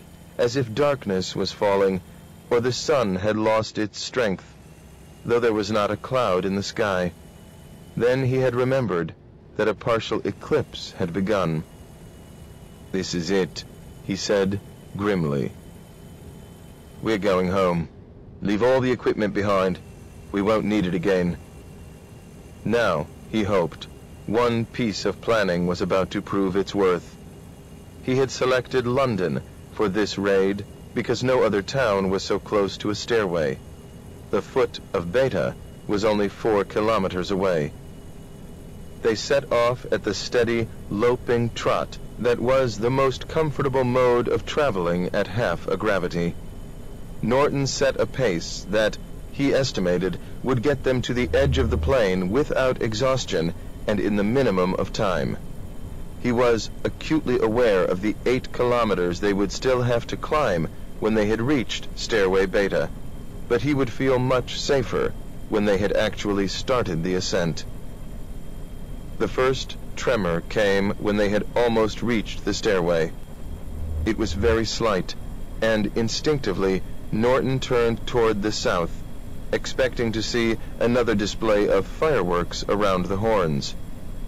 But Rama never seemed to repeat itself exactly. If there were any electrical discharges above those needle-sharp mountains, they were too faint to be seen. Bridge, he called. Did you notice that? Yes, Skipper. Very small shock. Could be another attitude change. We're watching the rate gyro. Nothing yet. Just a minute. Positive reading. Can just detect it. Less than a microradian per second, but holding. So Rama was beginning to turn, though with almost imperceptible slowness. Those earlier shocks might have been a false alarm, but this, surely, was the real thing. Rate increasing. Five microrad. Hello, did you feel that shock? We certainly did. Get all ship's systems operational. We may have to leave in a hurry.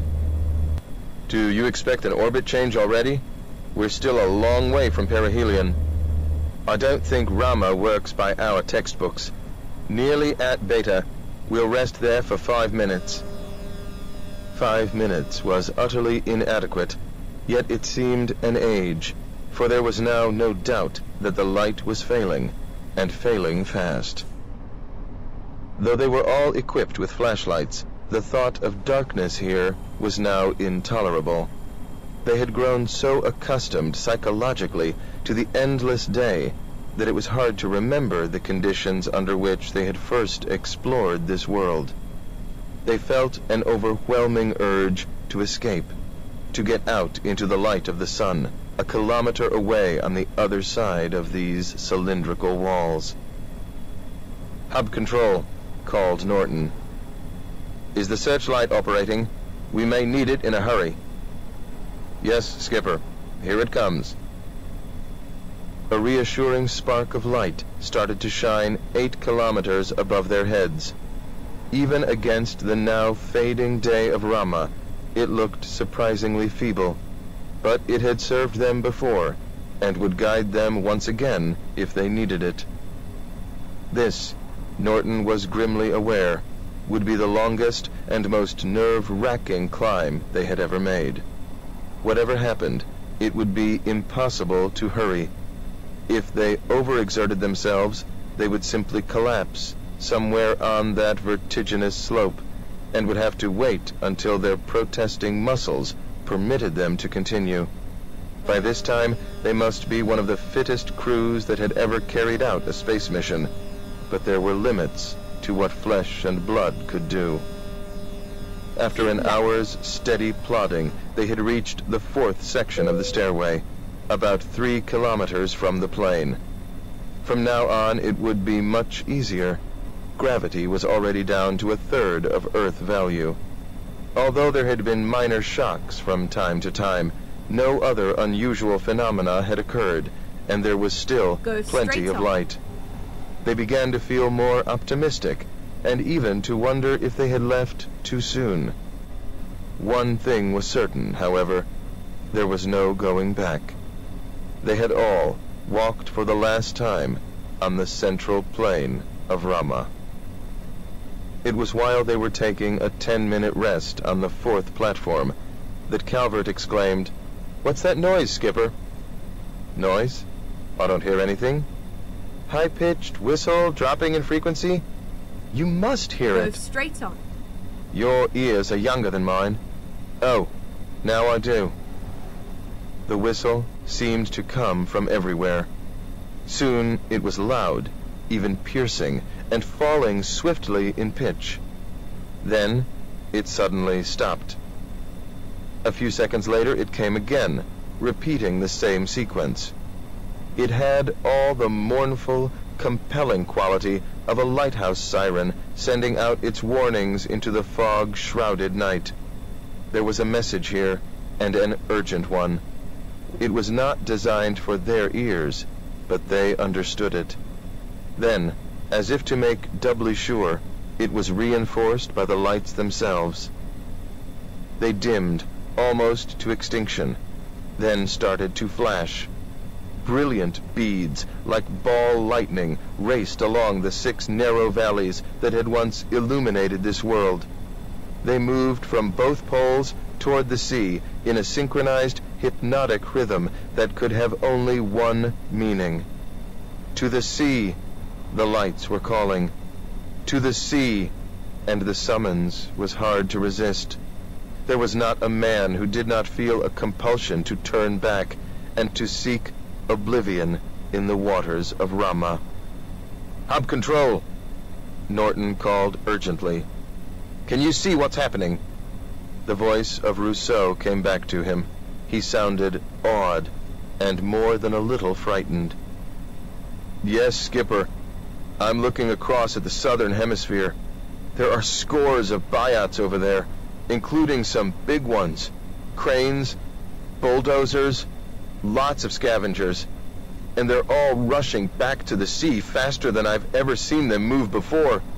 There goes a crane, right over the edge, just like Jimmy, but going down a lot quicker. It smashed to pieces when it hit. And here come the sharks. They're tearing into it. Ugh, it's not a pleasant sight. Now I'm looking at the plain. There's a bulldozer that seems to have broken down. It's going round and round in circles. Now a couple of crabs are tearing into it, pulling it to pieces. Skipper, I think you'd better get back right away. Believe me, Norton said with deep feeling. We are coming just as quickly as we can.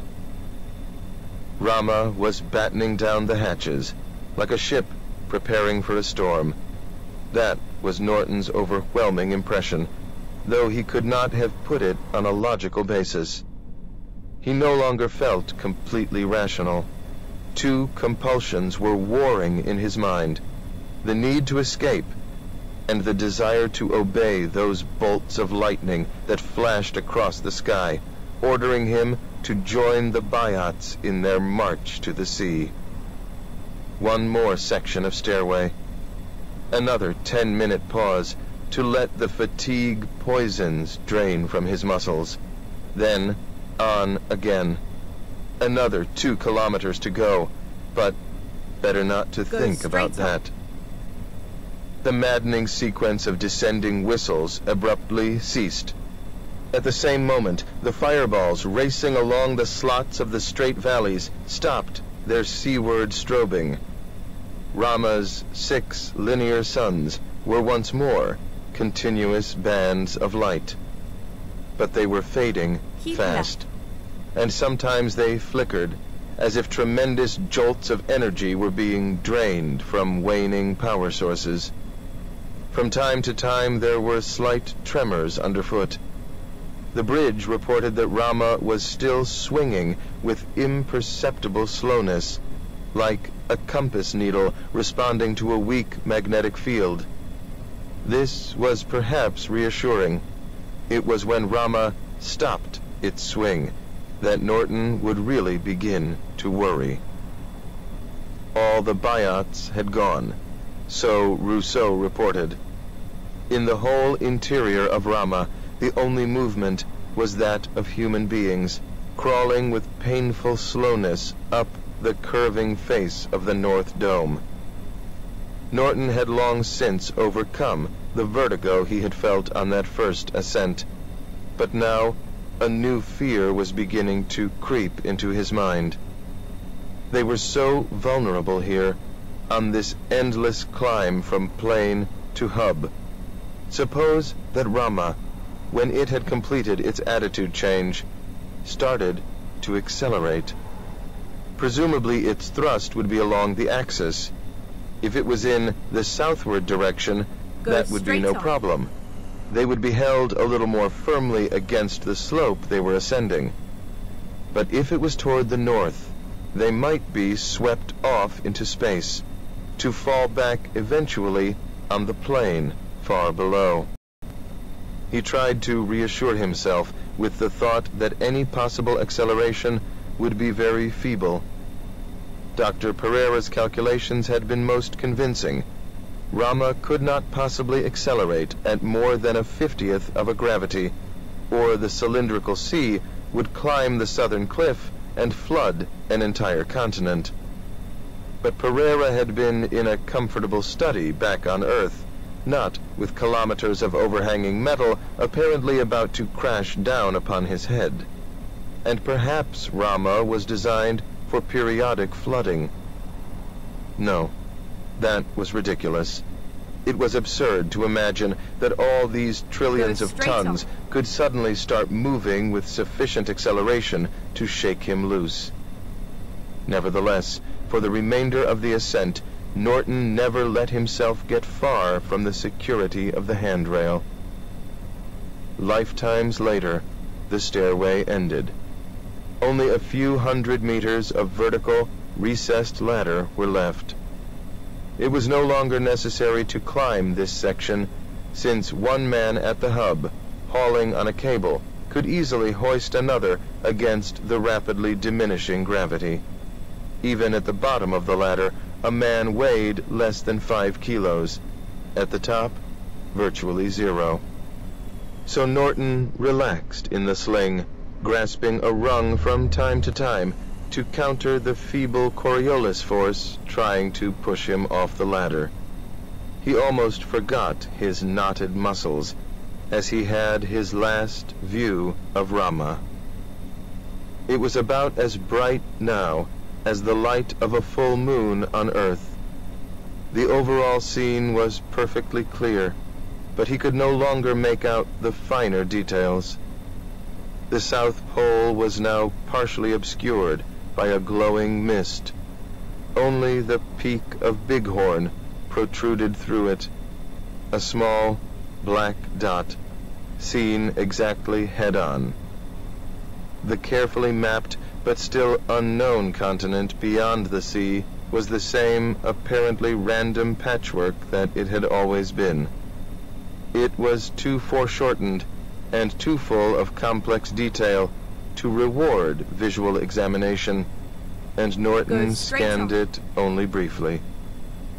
He swept his gaze around the encircling band of the sea, and noticed for the first time a regular pattern of disturbed water, as if waves were breaking over reefs set at geometrically precise intervals. Rama's maneuvering was having some effect, but a slight one. He was sure that Sergeant Barnes would have sailed forth happily under these conditions had he asked her to cross the sea in her lost resolution. New York, London, Paris, Moscow, Rome. He said farewell to all the cities of the Northern Hemisphere and hoped the Ramans would forgive him for the damage he had done. Perhaps they would understand that it was all in the cause of science. Then, finally, he was at the hub, and eager hands reached out to Go grab him on. and to hurry him through the airlocks. His overstrained legs and arms were trembling so uncontrollably that he was almost unable to help himself, and he was content to be handled like a half-paralyzed invalid. The sky of Rama contracted above him as he descended into the central crater of the hub. When the door of the inner airlock shut off the view forever, he found himself thinking, how strange that night should be falling now that Rama is closest to the sun. 44. Space Drive A hundred kilometers was an adequate safety margin, Norton had decided. Rama was now a huge black rectangle, exactly broadside on, eclipsing the sun. He had used this opportunity to fly Endeavour completely into shadow, so that the load could be taken off the ship's cooling systems and some overdue maintenance could be carried out. Rama's protective cone of darkness might disappear at any moment, and he intended to make as much use of it as he could. Rama was still turning. It had now swung through almost 15 degrees, and it was impossible to believe that some major orbit change was not imminent. On the United Planets, excitement had reached a pitch of hysteria, but only a faint echo of this came to Endeavour. Physically and emotionally, her crew was exhausted. Apart from a skeleton watch, everyone had slept for 12 hours after takeoff from the North Pole base. On doctor's orders, Norton himself had used electrosedation. Even so, he had dreamed that he was climbing an infinite stairway. The second day back on the ship, everything had almost returned to normal, and the exploration of Rama already seemed part of another life. Norton started to deal with the accumulated office work and to make plans for the future, but he refused the requests for interviews that had somehow managed to insinuate themselves into the survey and even Space Guard radio circuits. There were no messages from Mercury, and the UP General Assembly had adjourned its session, though it was ready to meet again at an hour's notice. Norton was having his first good night's sleep, 30 hours after leaving Rama, when he was rudely shaken back to consciousness. He cursed groggily, opened a bleary eye at Karl Mercer, and then, like any good commander, was instantly wide awake. It stopped turning? Yes, steady as a rock. Let's go to the bridge. The whole ship was awake. Even the simps knew that something was afoot and made anxious, meeping noises until McAndrews reassured them with swift hand signals. As Norton slipped into his chair and fastened the restraints around his waist, he wondered if this might be yet another false alarm. Rama was now foreshortened into a stubby cylinder, and the searing rim of the sun had peeked over one edge. Norton jockeyed Endeavour gently back into the umbra of the artificial eclipse, and saw the pearly splendor of the corona reappear across a background of the brighter stars. There was one huge prominence, at least half a million kilometers high, that had climbed so far from the sun that its upper branches looked like a tree of crimson fire. So now we have to wait, Norton told himself. The important thing is not to get bored, to be ready to react at a moment's notice, to keep all the instruments aligned and recording, no matter how long it takes.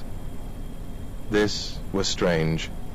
The star field was shifting, almost as if he had actuated the roll thrusters. But he had touched no controls, and if there had been any real movement, he would have sensed it at once. Skipper, said Calvert urgently from the nav position. We're rolling. Look at the stars. But I'm getting no instrument readings. Rate gyros operating? Perfectly normal. I can see the zero jitter. But we're rolling several degrees a second. That's impossible. Of course it is, but look for yourself. When all else failed, a man had to rely on eyeball instrumentation.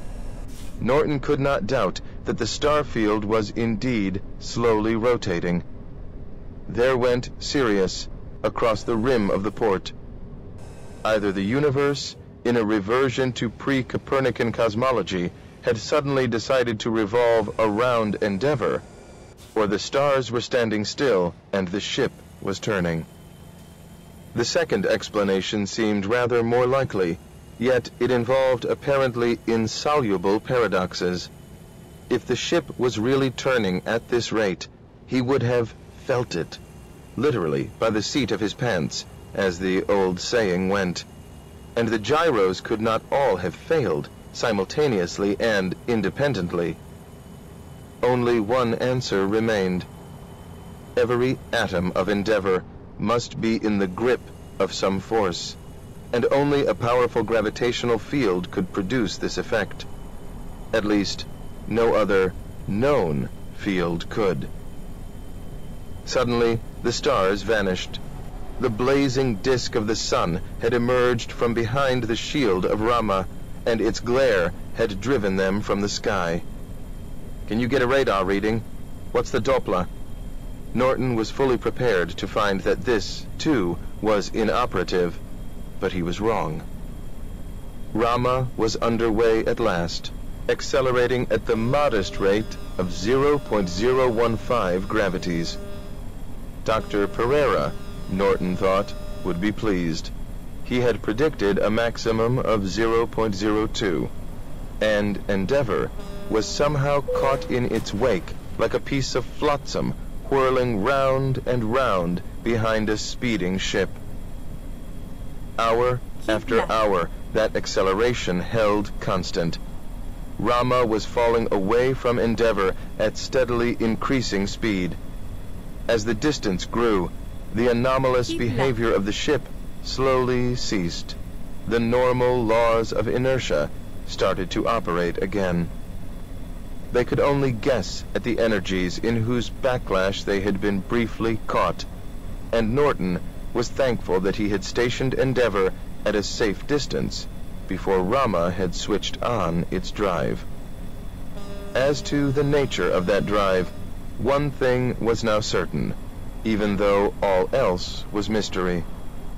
There were no jets of gas, no beams of ions or plasma thrusting Rama into its new orbit. No one put it better than Sergeant Professor Myron when he said, in shocked disbelief, There goes Newton's third law. It was Newton's third law, however, upon which Endeavour had to depend the next day, when she used her very last reserves of propellant to bend her own orbit outward from the sun.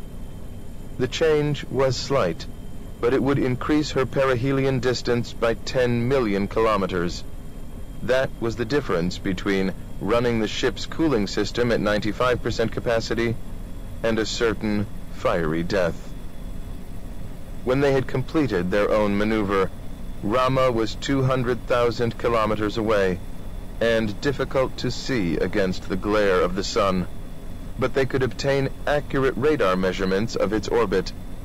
And the more they observed, the more Keep puzzled right, they became. And then exit right. They checked the figures over and over again until there was no escaping the unbelievable Exit conclusion. Right. It looked as if all the fears of the Hermians, the heroism of Rodrigo, and the rhetoric of the General Assembly had been utterly in vain. What a cosmic irony, thought Norton as he looked at his final figures. If after a million years of safe guidance, Rama's computers had made one trifling error, perhaps changing the sign of an equation from plus to minus. Everyone had been so certain that Rama would lose speed, so that it could be captured by the sun's gravity and thus become a new planet of the solar system. It was doing just the opposite. It was gaining speed, and in the worst possible direction. Rama was falling ever more swiftly into the sun. 45. Keep left. Phoenix. As the details of its new orbit became more and more clearly defined, it was hard to see how Rama could possibly escape disaster. Only a handful of comets had ever passed as close to the Sun. At perihelion, it would be less than half Keep a million right, kilometers above right. that inferno of fusing hydrogen. No solid material could withstand the temperature of such an approach.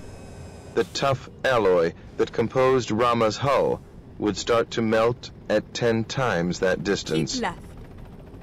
Endeavour had now passed its own perihelion to everyone's relief, and was slowly increasing its distance from the sun. Rama was far ahead on its closer, swifter orbit, and already appeared well inside the outermost fringes of the corona. The ship would have a grandstand view of the drama's final stage. Then, five million kilometers from the sun, and still accelerating, Rama started to spin its cocoon. Until now, it had been visible under the maximum power of Endeavour's telescopes as a tiny, bright bar. Suddenly, it began to scintillate like a star seen through horizon mists. It almost seemed as if it was disintegrating. When he saw the image breaking up, right. Norton felt a poignant sense of grief at the loss of so much wonder. Then he realized that Rama was still there, but that it was surrounded by a shimmering haze. And then it was gone.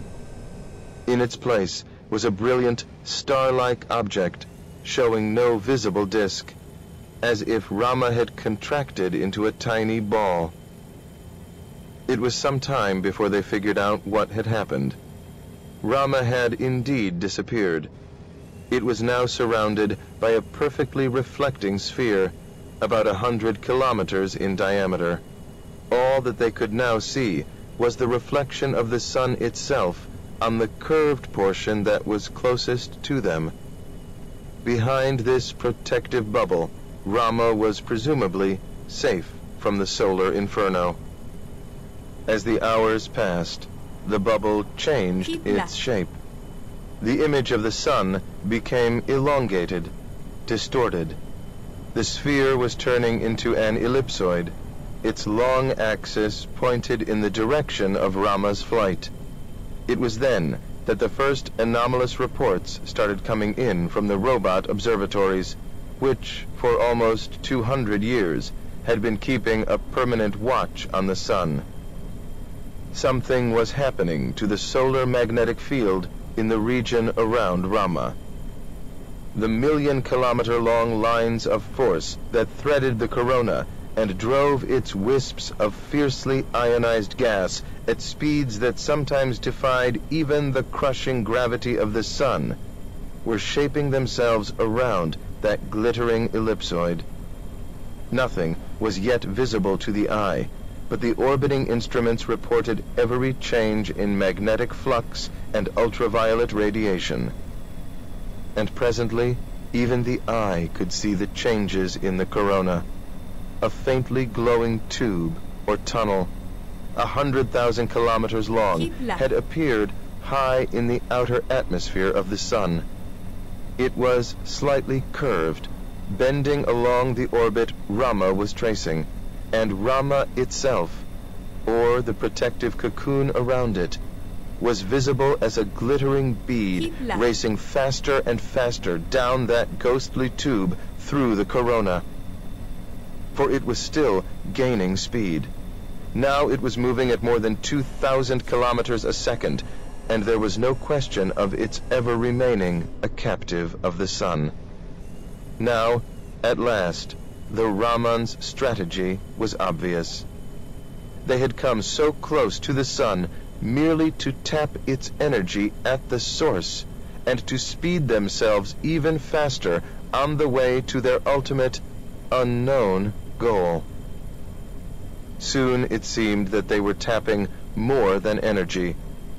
No one could ever be certain of this because the nearest observing instruments were 30 million kilometers away, but there were definite indications that matter was flowing from the sun into Rama itself, as if it was replacing the leakage and losses of 10,000 centuries in space. Faster and faster Rama swept around the sun, moving more swiftly than any object that had ever traveled through the solar system. In less than two hours, its direction of motion had swung through more than 90 degrees, and it had given a final, almost contemptuous proof of its total lack of interest in all the worlds whose peace of mind it had so rudely disturbed. It was dropping out of the ecliptic, down into the southern sky, far below the plane in which all the planets move. Though that, surely, could not be its ultimate goal, it was aimed squarely at the greater Magellanic Cloud and the lonely gulfs beyond the Milky Way. 46. Interlude. Come in, said Commander Norton absent-mindedly at the quiet knock on his door. Some news for you, Bill. I wanted to give it first, before the crew gets into the act. And anyway, it's my department. Norton still seemed far away. He was lying with his hands clasped under his head, eyes half shut, cabin light low, not really drowsing, but lost in some reverie or private dream. He blinked once or twice, and was suddenly back in his body. Sorry, Laura, I don't understand. What's it all about? Don't say you've forgotten. Stop teasing, you wretched woman. I've had a few things on my mind recently. Surgeon Commander Ernst slid a captive chair across in its slots and sat down beside him. Though interplanetary crises come and go, the wheels of Martian bureaucracy grind steadily away. But I suppose Rama helped. Good thing you didn't have to get permission from the Hermians as well. Light was dawning. Oh, Port Lowell has issued the permit. Better than that, it's already being acted on. Laura glanced at the slip of paper in her hand. Immediate, she read. Probably right now your new son is being conceived. Congratulations. Thank you. I hope he hasn't minded the wait. Like every astronaut, Norton had been sterilized when he entered the service. For a man who would spend years in space, radiation-induced mutation was not a risk. It was a certainty.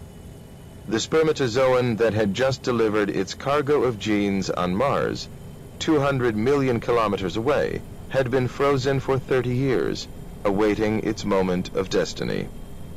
Norton wondered if he would be home in time for the birth. He had earned rest, relaxation, and such normal family life as an astronaut could ever know. Now that the mission was essentially over, he was beginning to unwind and to think once more about his own future and that of both his families. Yes, it would be good to be home for a while and to make up for lost time Keep right. in many and ways. then exit right. This visit, protested Laura rather feebly, was purely in a professional capacity. Exit right. After all these years, replied Norton. We know each other better than that. Anyway, you're off duty now. This situation, he knew, was doubtless being repeated throughout the ship. Even though they were weeks from home, the end of mission, Orbital Orgy, would be in full swing. Now what are you thinking? demanded Laura, much later. You're not becoming sentimental, I hope. Not about us. About Rama. I'm beginning to miss it. Get ready to Thanks very much for the compliment. Turn left. Norton tightened his arms around her. One of the nicest things about weightlessness, he often thought, was that you could really hold someone all night without cutting off the circulation. There were those who claimed that love at 1G was so ponderous that they could no longer enjoy it. It's a well-known fact, Laura, that men, unlike women, have two-track minds. Get ready But seriously, well, more seriously, I do feel a sense of loss. I can understand that. Don't be so left. clinical. That's not the only reason. Oh, never mind. You have arrived He gave up. It Your was not easy to explain, even to himself. He had succeeded on this mission beyond all reasonable expectation. What his men had discovered in Rama would keep scientists busy for decades. And, above all, he had done it without a single casualty. But he had also failed. One might speculate endlessly, but the nature and the purpose of the Ramans was still utterly unknown. They had used the solar system as a refueling stop, a booster station, call it what you will, and had then spurned it completely, on their way to more important business. They would probably never even know that the human race existed. Such monumental indifference was worse than any deliberate insult. When Norton had glimpsed Rama for the last time, a tiny star hurtling outward beyond Venus, he knew that part of his life was over. He was just fifty-five, but he felt he had left his youth down there on the curving central plain, among mysteries and wonders now receding inexorably beyond the reach of man. Whatever honors and achievements the future brought him, for the rest of his life he would be haunted by a sense of anticlimax and the knowledge of opportunities missed. So he told himself, but even then, he should have known better. And on far-off Earth, Dr. Carlisle Perera had as yet told no one of how he had wakened from a restless sleep with the message from his subconscious echoing in his brain. The Ramans do everything in threes.